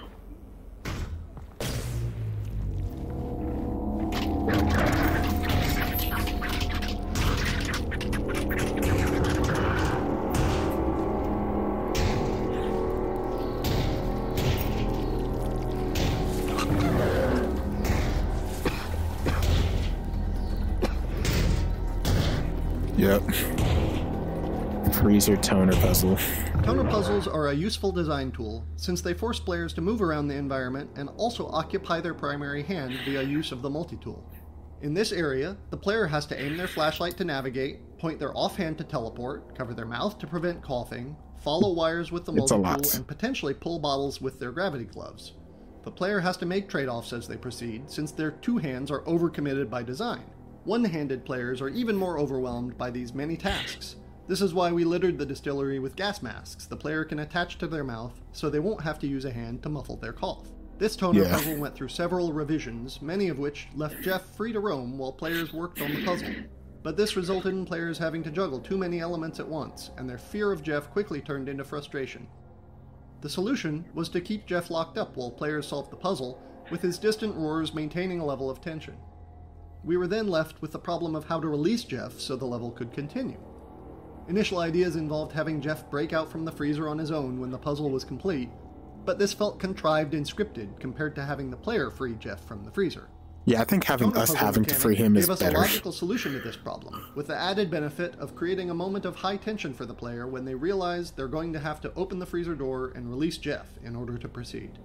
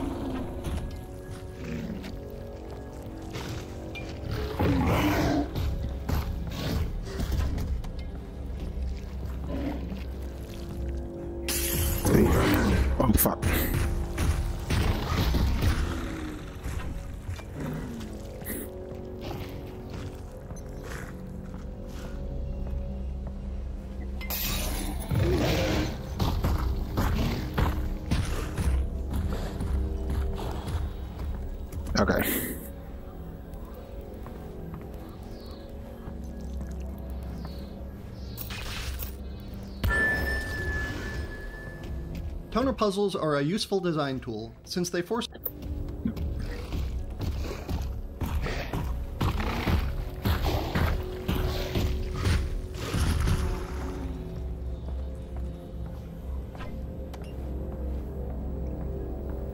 Over here, Jeff.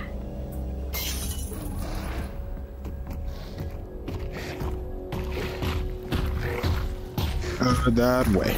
There you go.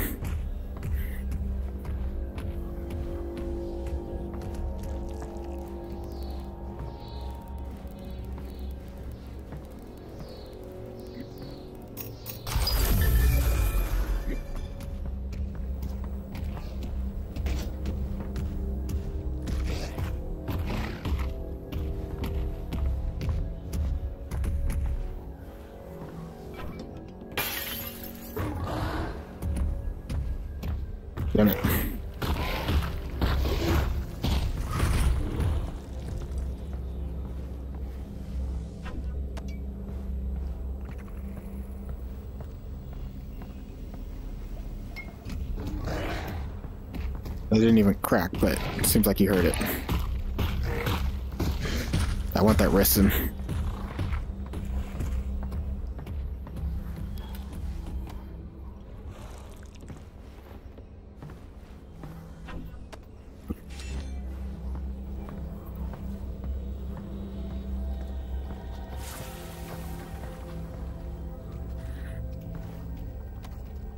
Of our ideas for Jeff involved coming up with plausible ways to force Jeff and the player to occupy an enclosed space at the same time.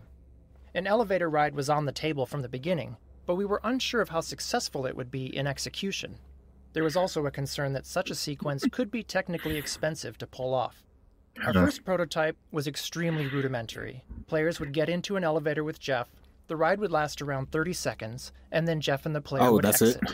There was no complicated level scripting, no bespoke animations for Jeff, and no special audio or lighting treatment. Despite the relative lack of polish, players had a strong positive reaction to the sequence, even Yeah, naming me, it a highlight of the game when we ran company-wide playtests. That's This what I. convinced To me, that it's it definitely a worth highlight. putting more work into the elevator ride to make it something really special. In the end, a lot of different disciplines came together to create the final sequence, which combines sound, animation, scripted lighting, and careful choreography of Jeff's movements and the player's actions.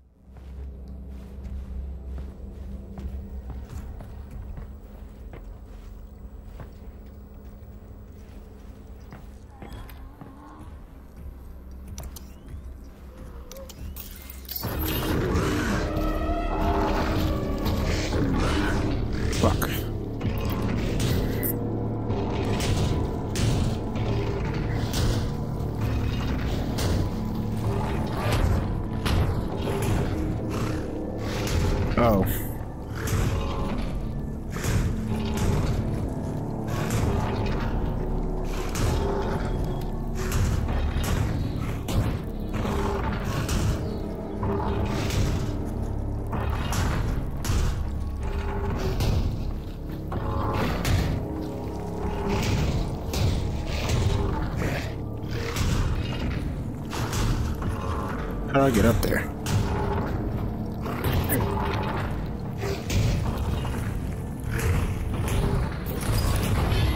Oh. I don't.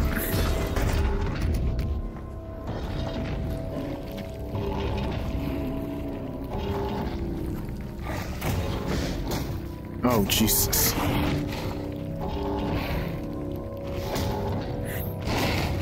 This is a cool scene, though.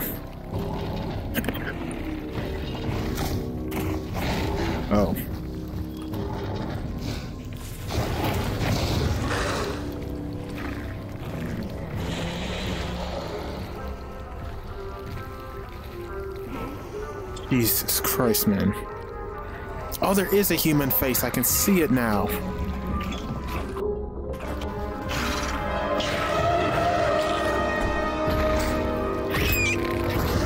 Oh. Get that little fucker.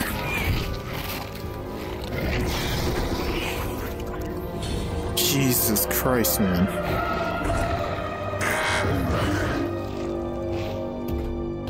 Go on, Jeff. You first.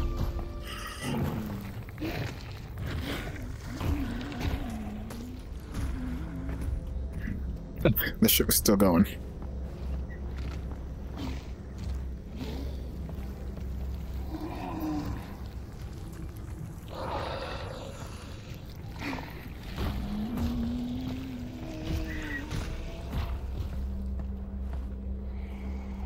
Oh, that's one of the fucking legs.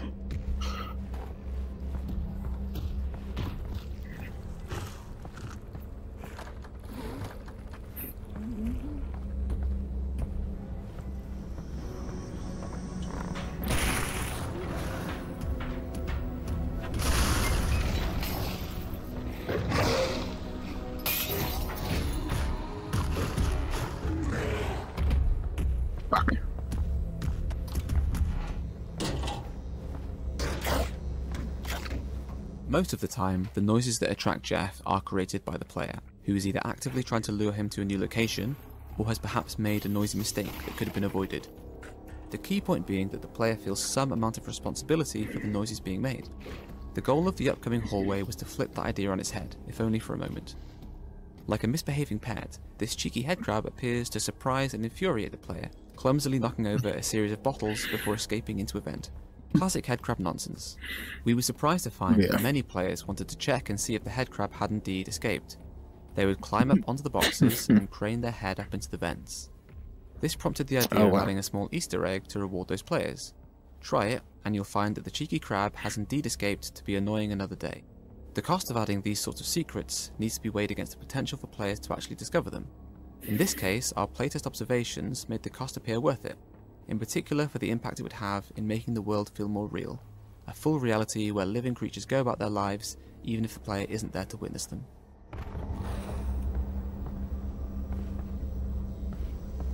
Yeah, I think that's something that's probably always hard to get right.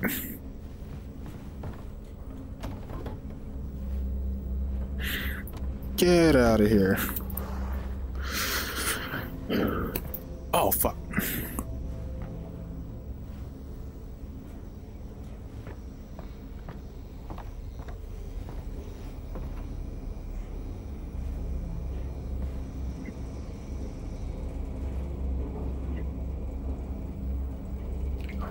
Oh. And there's some resin. Oh my god, dude. I'm like. Game, can you not do this? It does that whenever, like, you're out of bounds, but, like, Jesus.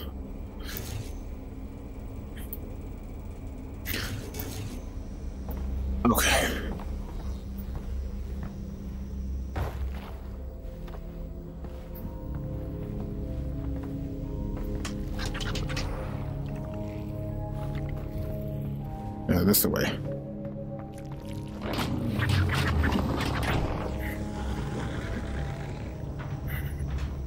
Oh, God. That scared me. I thought that was a live combine for a second. I was like, what? I don't remember there being any combine in this area.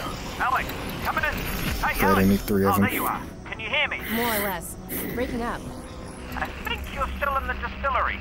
I made a friend named Jeff. Well, that's great. We can take all the help we can get. Yeah, we're not really close. Listen, there should be a big tunnel-sized plug in the floor there somewhere. That's gonna be... The tunnel out of here? Correct. You get it open, I'll figure out where it leads. Okie dokie. Since Combine the force entire fields. premise of Jeff hinged force on fields. keeping Jeff and the player in close proximity to each other, the distillery map was constructed as a series of chambers connected by one-way transitions. Early on, we used two techniques in concert to keep Jeff and the player together throughout the level. First, each new area was gated with a special locked door. These took the form of impenetrable Xen membranes that only Jeff could tear through. The player would lure Hmm. Jeff to the membrane using sound, and Jeff would break it open so that both Jeff and the player could proceed. We had always had a goal of having players describe Jeff in adversarial terms, as a constant pursuer or a thorn in their side. The problem with the Xen I membrane definitely see that. was that it led to players describing Jeff as a useful tool, or worse, an angry co-op partner, rather than something they fear. Another way that we would keep Jeff and the player together was via the use of one-way drops. Jeff would fall off catwalks, platforms, and ladders into each new area. These drops functioned as intended, mm-hmm. but just like the Xen membranes, elicited an undesirable reaction from players, especially when repeated multiple times. Watching Jeff do these pratfalls left players feeling like he was less dangerous. They felt sorry for him and even laughed at him. Eventually, we realized that we could use combined force fields, which the player cannot pass through, as a way to create one way doors. These force fields allowed Jeff to move through them, but required the player to follow via another one way path. This allowed us to build thresholds where Jeff and the player could both move forward while eliminating the awkwardness of the Xen membranes and avoiding the repeated falls that had previously made Jeff look so clumsy. Combined force fields also had a few other benefits. For one, they gave Jeff a convenient way to take a backstage route that is inaccessible to the player, like the one at the bottom of this eh. ladder.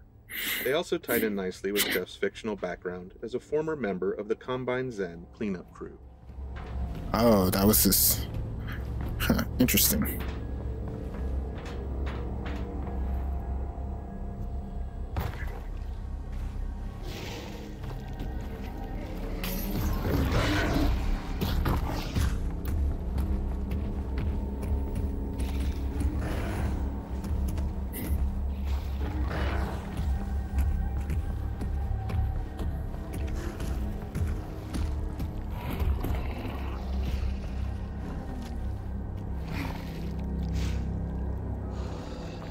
One here, buddy.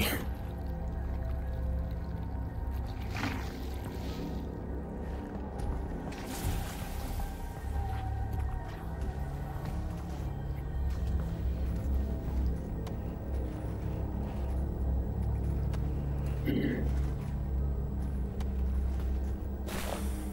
we go. Okay, yeah, just make sure. Go ahead and save. Since I have the mask now.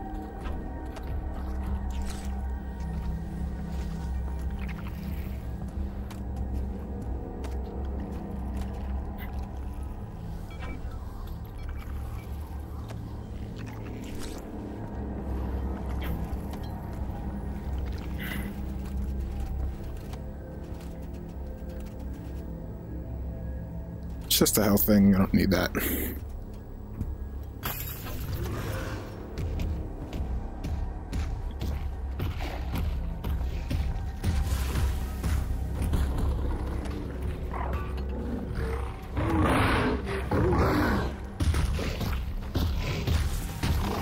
Jesus.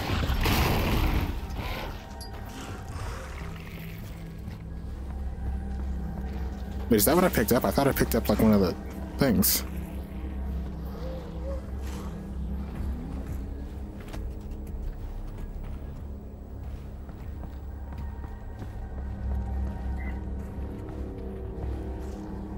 Oh, I did. It's just in there.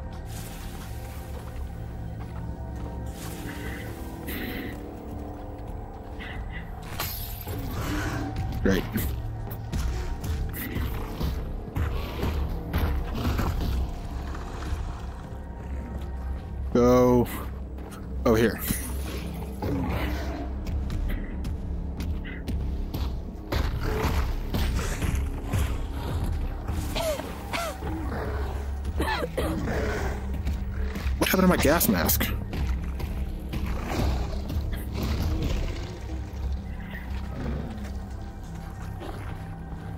No.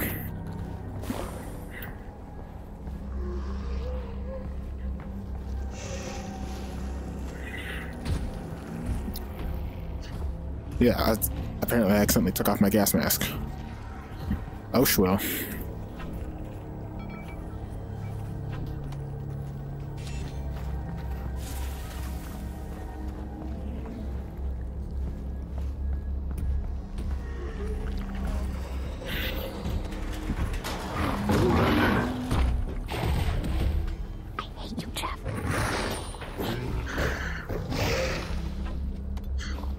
Alyx, I do too. Which way you gonna go, bitch?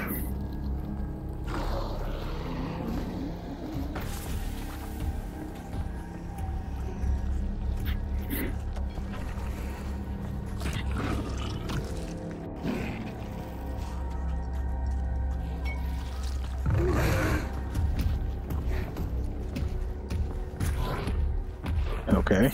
Let's not go that way.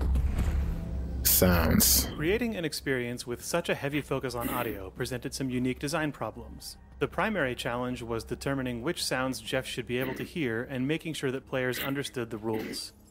Half Life Alyx contains a vast array of physics objects. However, through playtesting, we found it best to use only a small set of them in the distillery.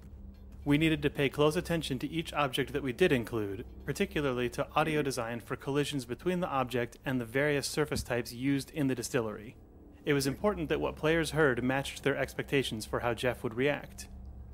In early testing, we would find individual cases where players would say things like, I don't know why Jeff got angry, or I would have expected that noise to attract Jeff. Over time, we identified these cases of confusion and addressed them one by one. It was vital that players always be able to identify the cause and effect of a noise that might attract Jeff. Failing this meant players were left feeling very like Jeff important. acted randomly and they'd grow frustrated. Some experiments failed in this area. At one point, parts of the level were littered with piles of broken glass that would make noise if the player walked or teleported over them. Few players would notice the broken glass and were then surprised when Jeff attacked, so this concept was cut to avoid confusion. We had to be wary of the opposite case too, where players would expect purely aesthetic elements to present a noise hazard. For example, at one point we had placed shallow pools of water seeping in among the floor tiles. It looked really cool, but it confused some of our playtesters who thought that the sound of their footsteps splashing through these puddles would be audible to Oh. Jeff, even though we never intended that to be the case. It's interesting.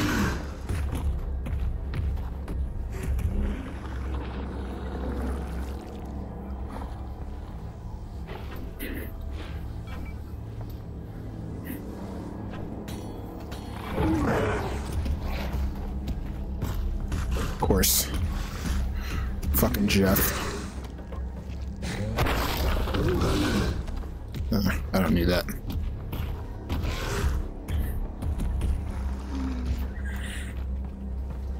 Okay.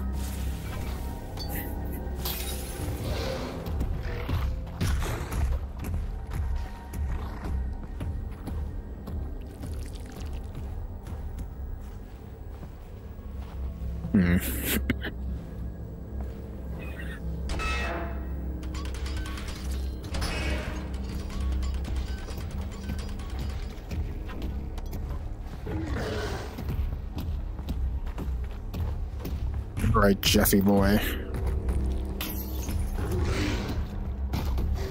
Oh fuck.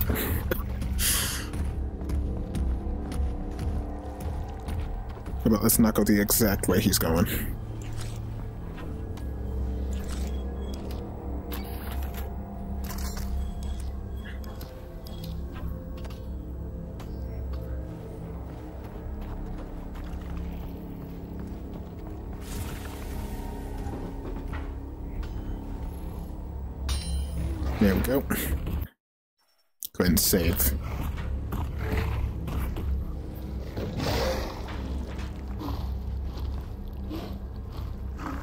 Way, big bitch? Which way?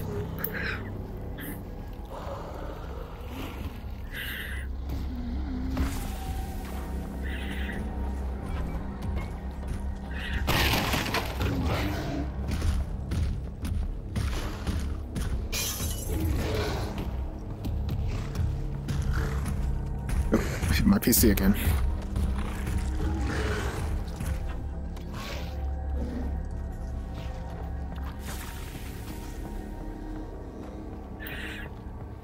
Go in here.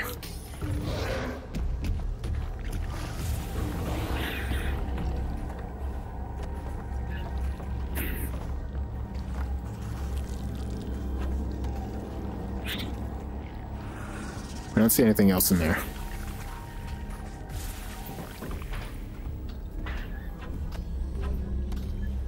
There we go. Whew. Man, that it's just that level's so good. Nicely done.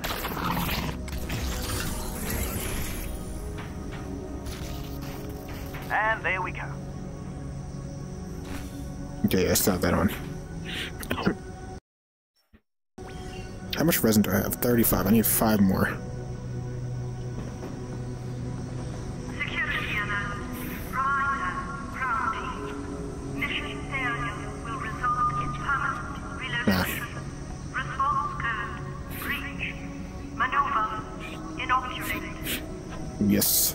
Four more resin.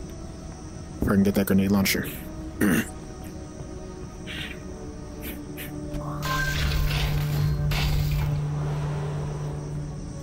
I know he shows up up up here. Yep, What the hell is that? That's Jeff. that's Jeff. Keep your voice down.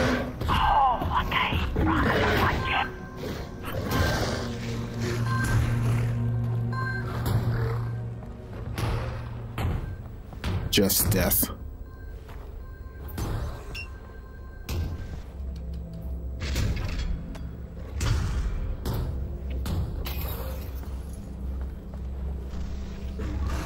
That's right, go on, bitch. Get your ass up in there. That's your coffin, by the way.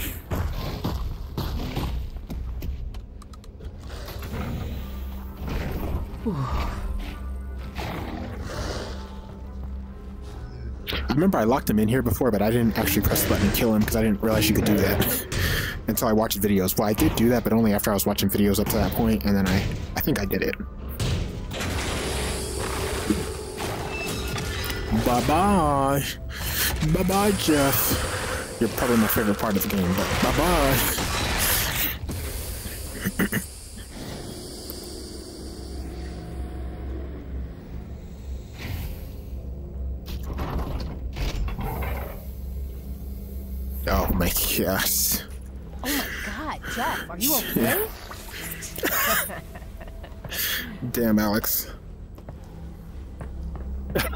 way she just laughed about that shit. Jesus. Figuring out how to end the player's journey through the distillery involved a lot of discussion about how players would ultimately end up feeling about Jeff. Observing playtests told us that most players simply Oh, that's how he got in here. Usually from the moment they met him, but there were some who felt kind of sorry for him and didn't necessarily want to see him killed. Our first version of the ending involved the player's actions unintentionally resulting in Jeff being attacked and dragged away by antlions. Part of the goal was to demonstrate that the antlions are even more powerful than Jeff, to amp up the tension just before players have to square off against antlions themselves. This ending left players feeling a little empty. There are antlions in this they game? felt detached from Jeff's demise and wanted that. to be more directly involved. Dark stuff, to be sure. Plus, we weren't really servicing those players who felt sorry for Jeff and didn't necessarily want to see him killed. There were other problems too. The antlion attack felt random to many players, which reduced its impact. And because Jeff presumably died off screen, players were left without a sense of closure. This Mhm. prevented players from being able to switch gears and settle in for their encounter with the antlions.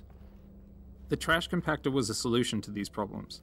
It gave players the opportunity to decide Jeff's fate and be left with a sense of Yeah, I closure. said, I didn't even know you could kill him him in my first just leave him playthrough until I watched videos, and I think when I Even came so, back, it I has did. to be admitted that most players seem to crush Jeff with zero hesitation. Monsters. Monsters. I agree with you. Jeff is an angel. Jeff's the angel of death. What did you do to Jeff? Yeah. Oh, I hey, what's Jeff up, the bro? trash compactor, and then I crushed him. Well, I, uh, I hope you came across some of the good stuff. See you around.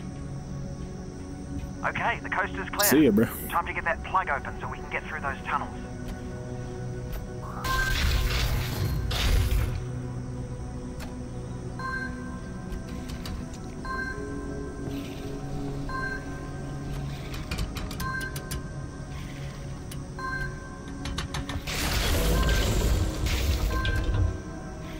Come on.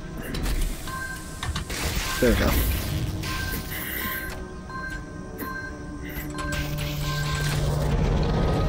There we go.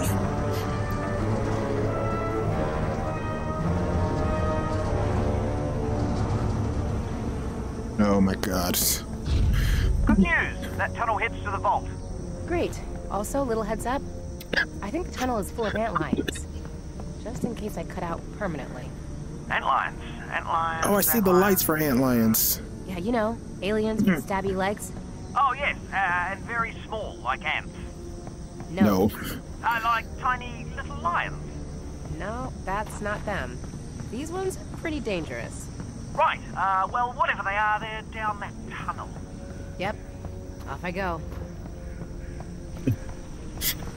Alyx, you are much braver than me. Just need one more resin. But this is actually where I'm going to go ahead and end the episode. Yeah. Ooh, okay, thank you guys so much for watching. I greatly appreciate it. That was a ton of fun. It's been a while since I've actually just sat down and recorded because I've been streaming more recently on YouTube, but uh, actually sitting down and recording and especially some VR gameplay, it's been a lot of fun. um, the Jeff section is probably my favorite in the game. It's between that, the bomb sections, and then the final section probably, where like you actually make it up to the vault and you just wreck shit up there. Um, those three are my favorite, but Jeff, I, I just love the Jeff section. Uh, it's a ton of fun to me. And even on my second playthrough, still a ton of fun. I knew I actually knew what to do this time, so it wasn't as big a deal. But oh, you missed it. Well, I might keep it in, but I actually had like a line in my hair. Um, you can see the fucking line through my hair from the headset through it. But I'm I'm redoing my outro, and you may or may not see my fucking goofy ass line I had. But just know in case I don't show it, I had like gigantic line right down the middle from the headset. Um, but yeah, thank you so much for watching. I greatly appreciate it. The next VR game I'll do, I have some other games I'm going to move on to. Mainly Subnautica and Mass Effect are the two next big games I'm going to do. But in terms of the next VR game, it's probably going to be Into the Radius. I think that's what's called Into the Radium, something like that. that and then I have some others, but that's the main VR game that I actually have planned to play next. But the next two like big non-VR games I'm gonna play are Mass the Mass Effect trilogy, I think it's a trilogy, and then Subnautica and its DLC. Those are the next two games I plan to play. Um, you know, new games might release here and there that kind of upset the schedule a little bit, but that's what I have planned going for right now. So, um, thank you so much for watching. Greatly appreciate it. Have a great day, and uh, yeah, see ya.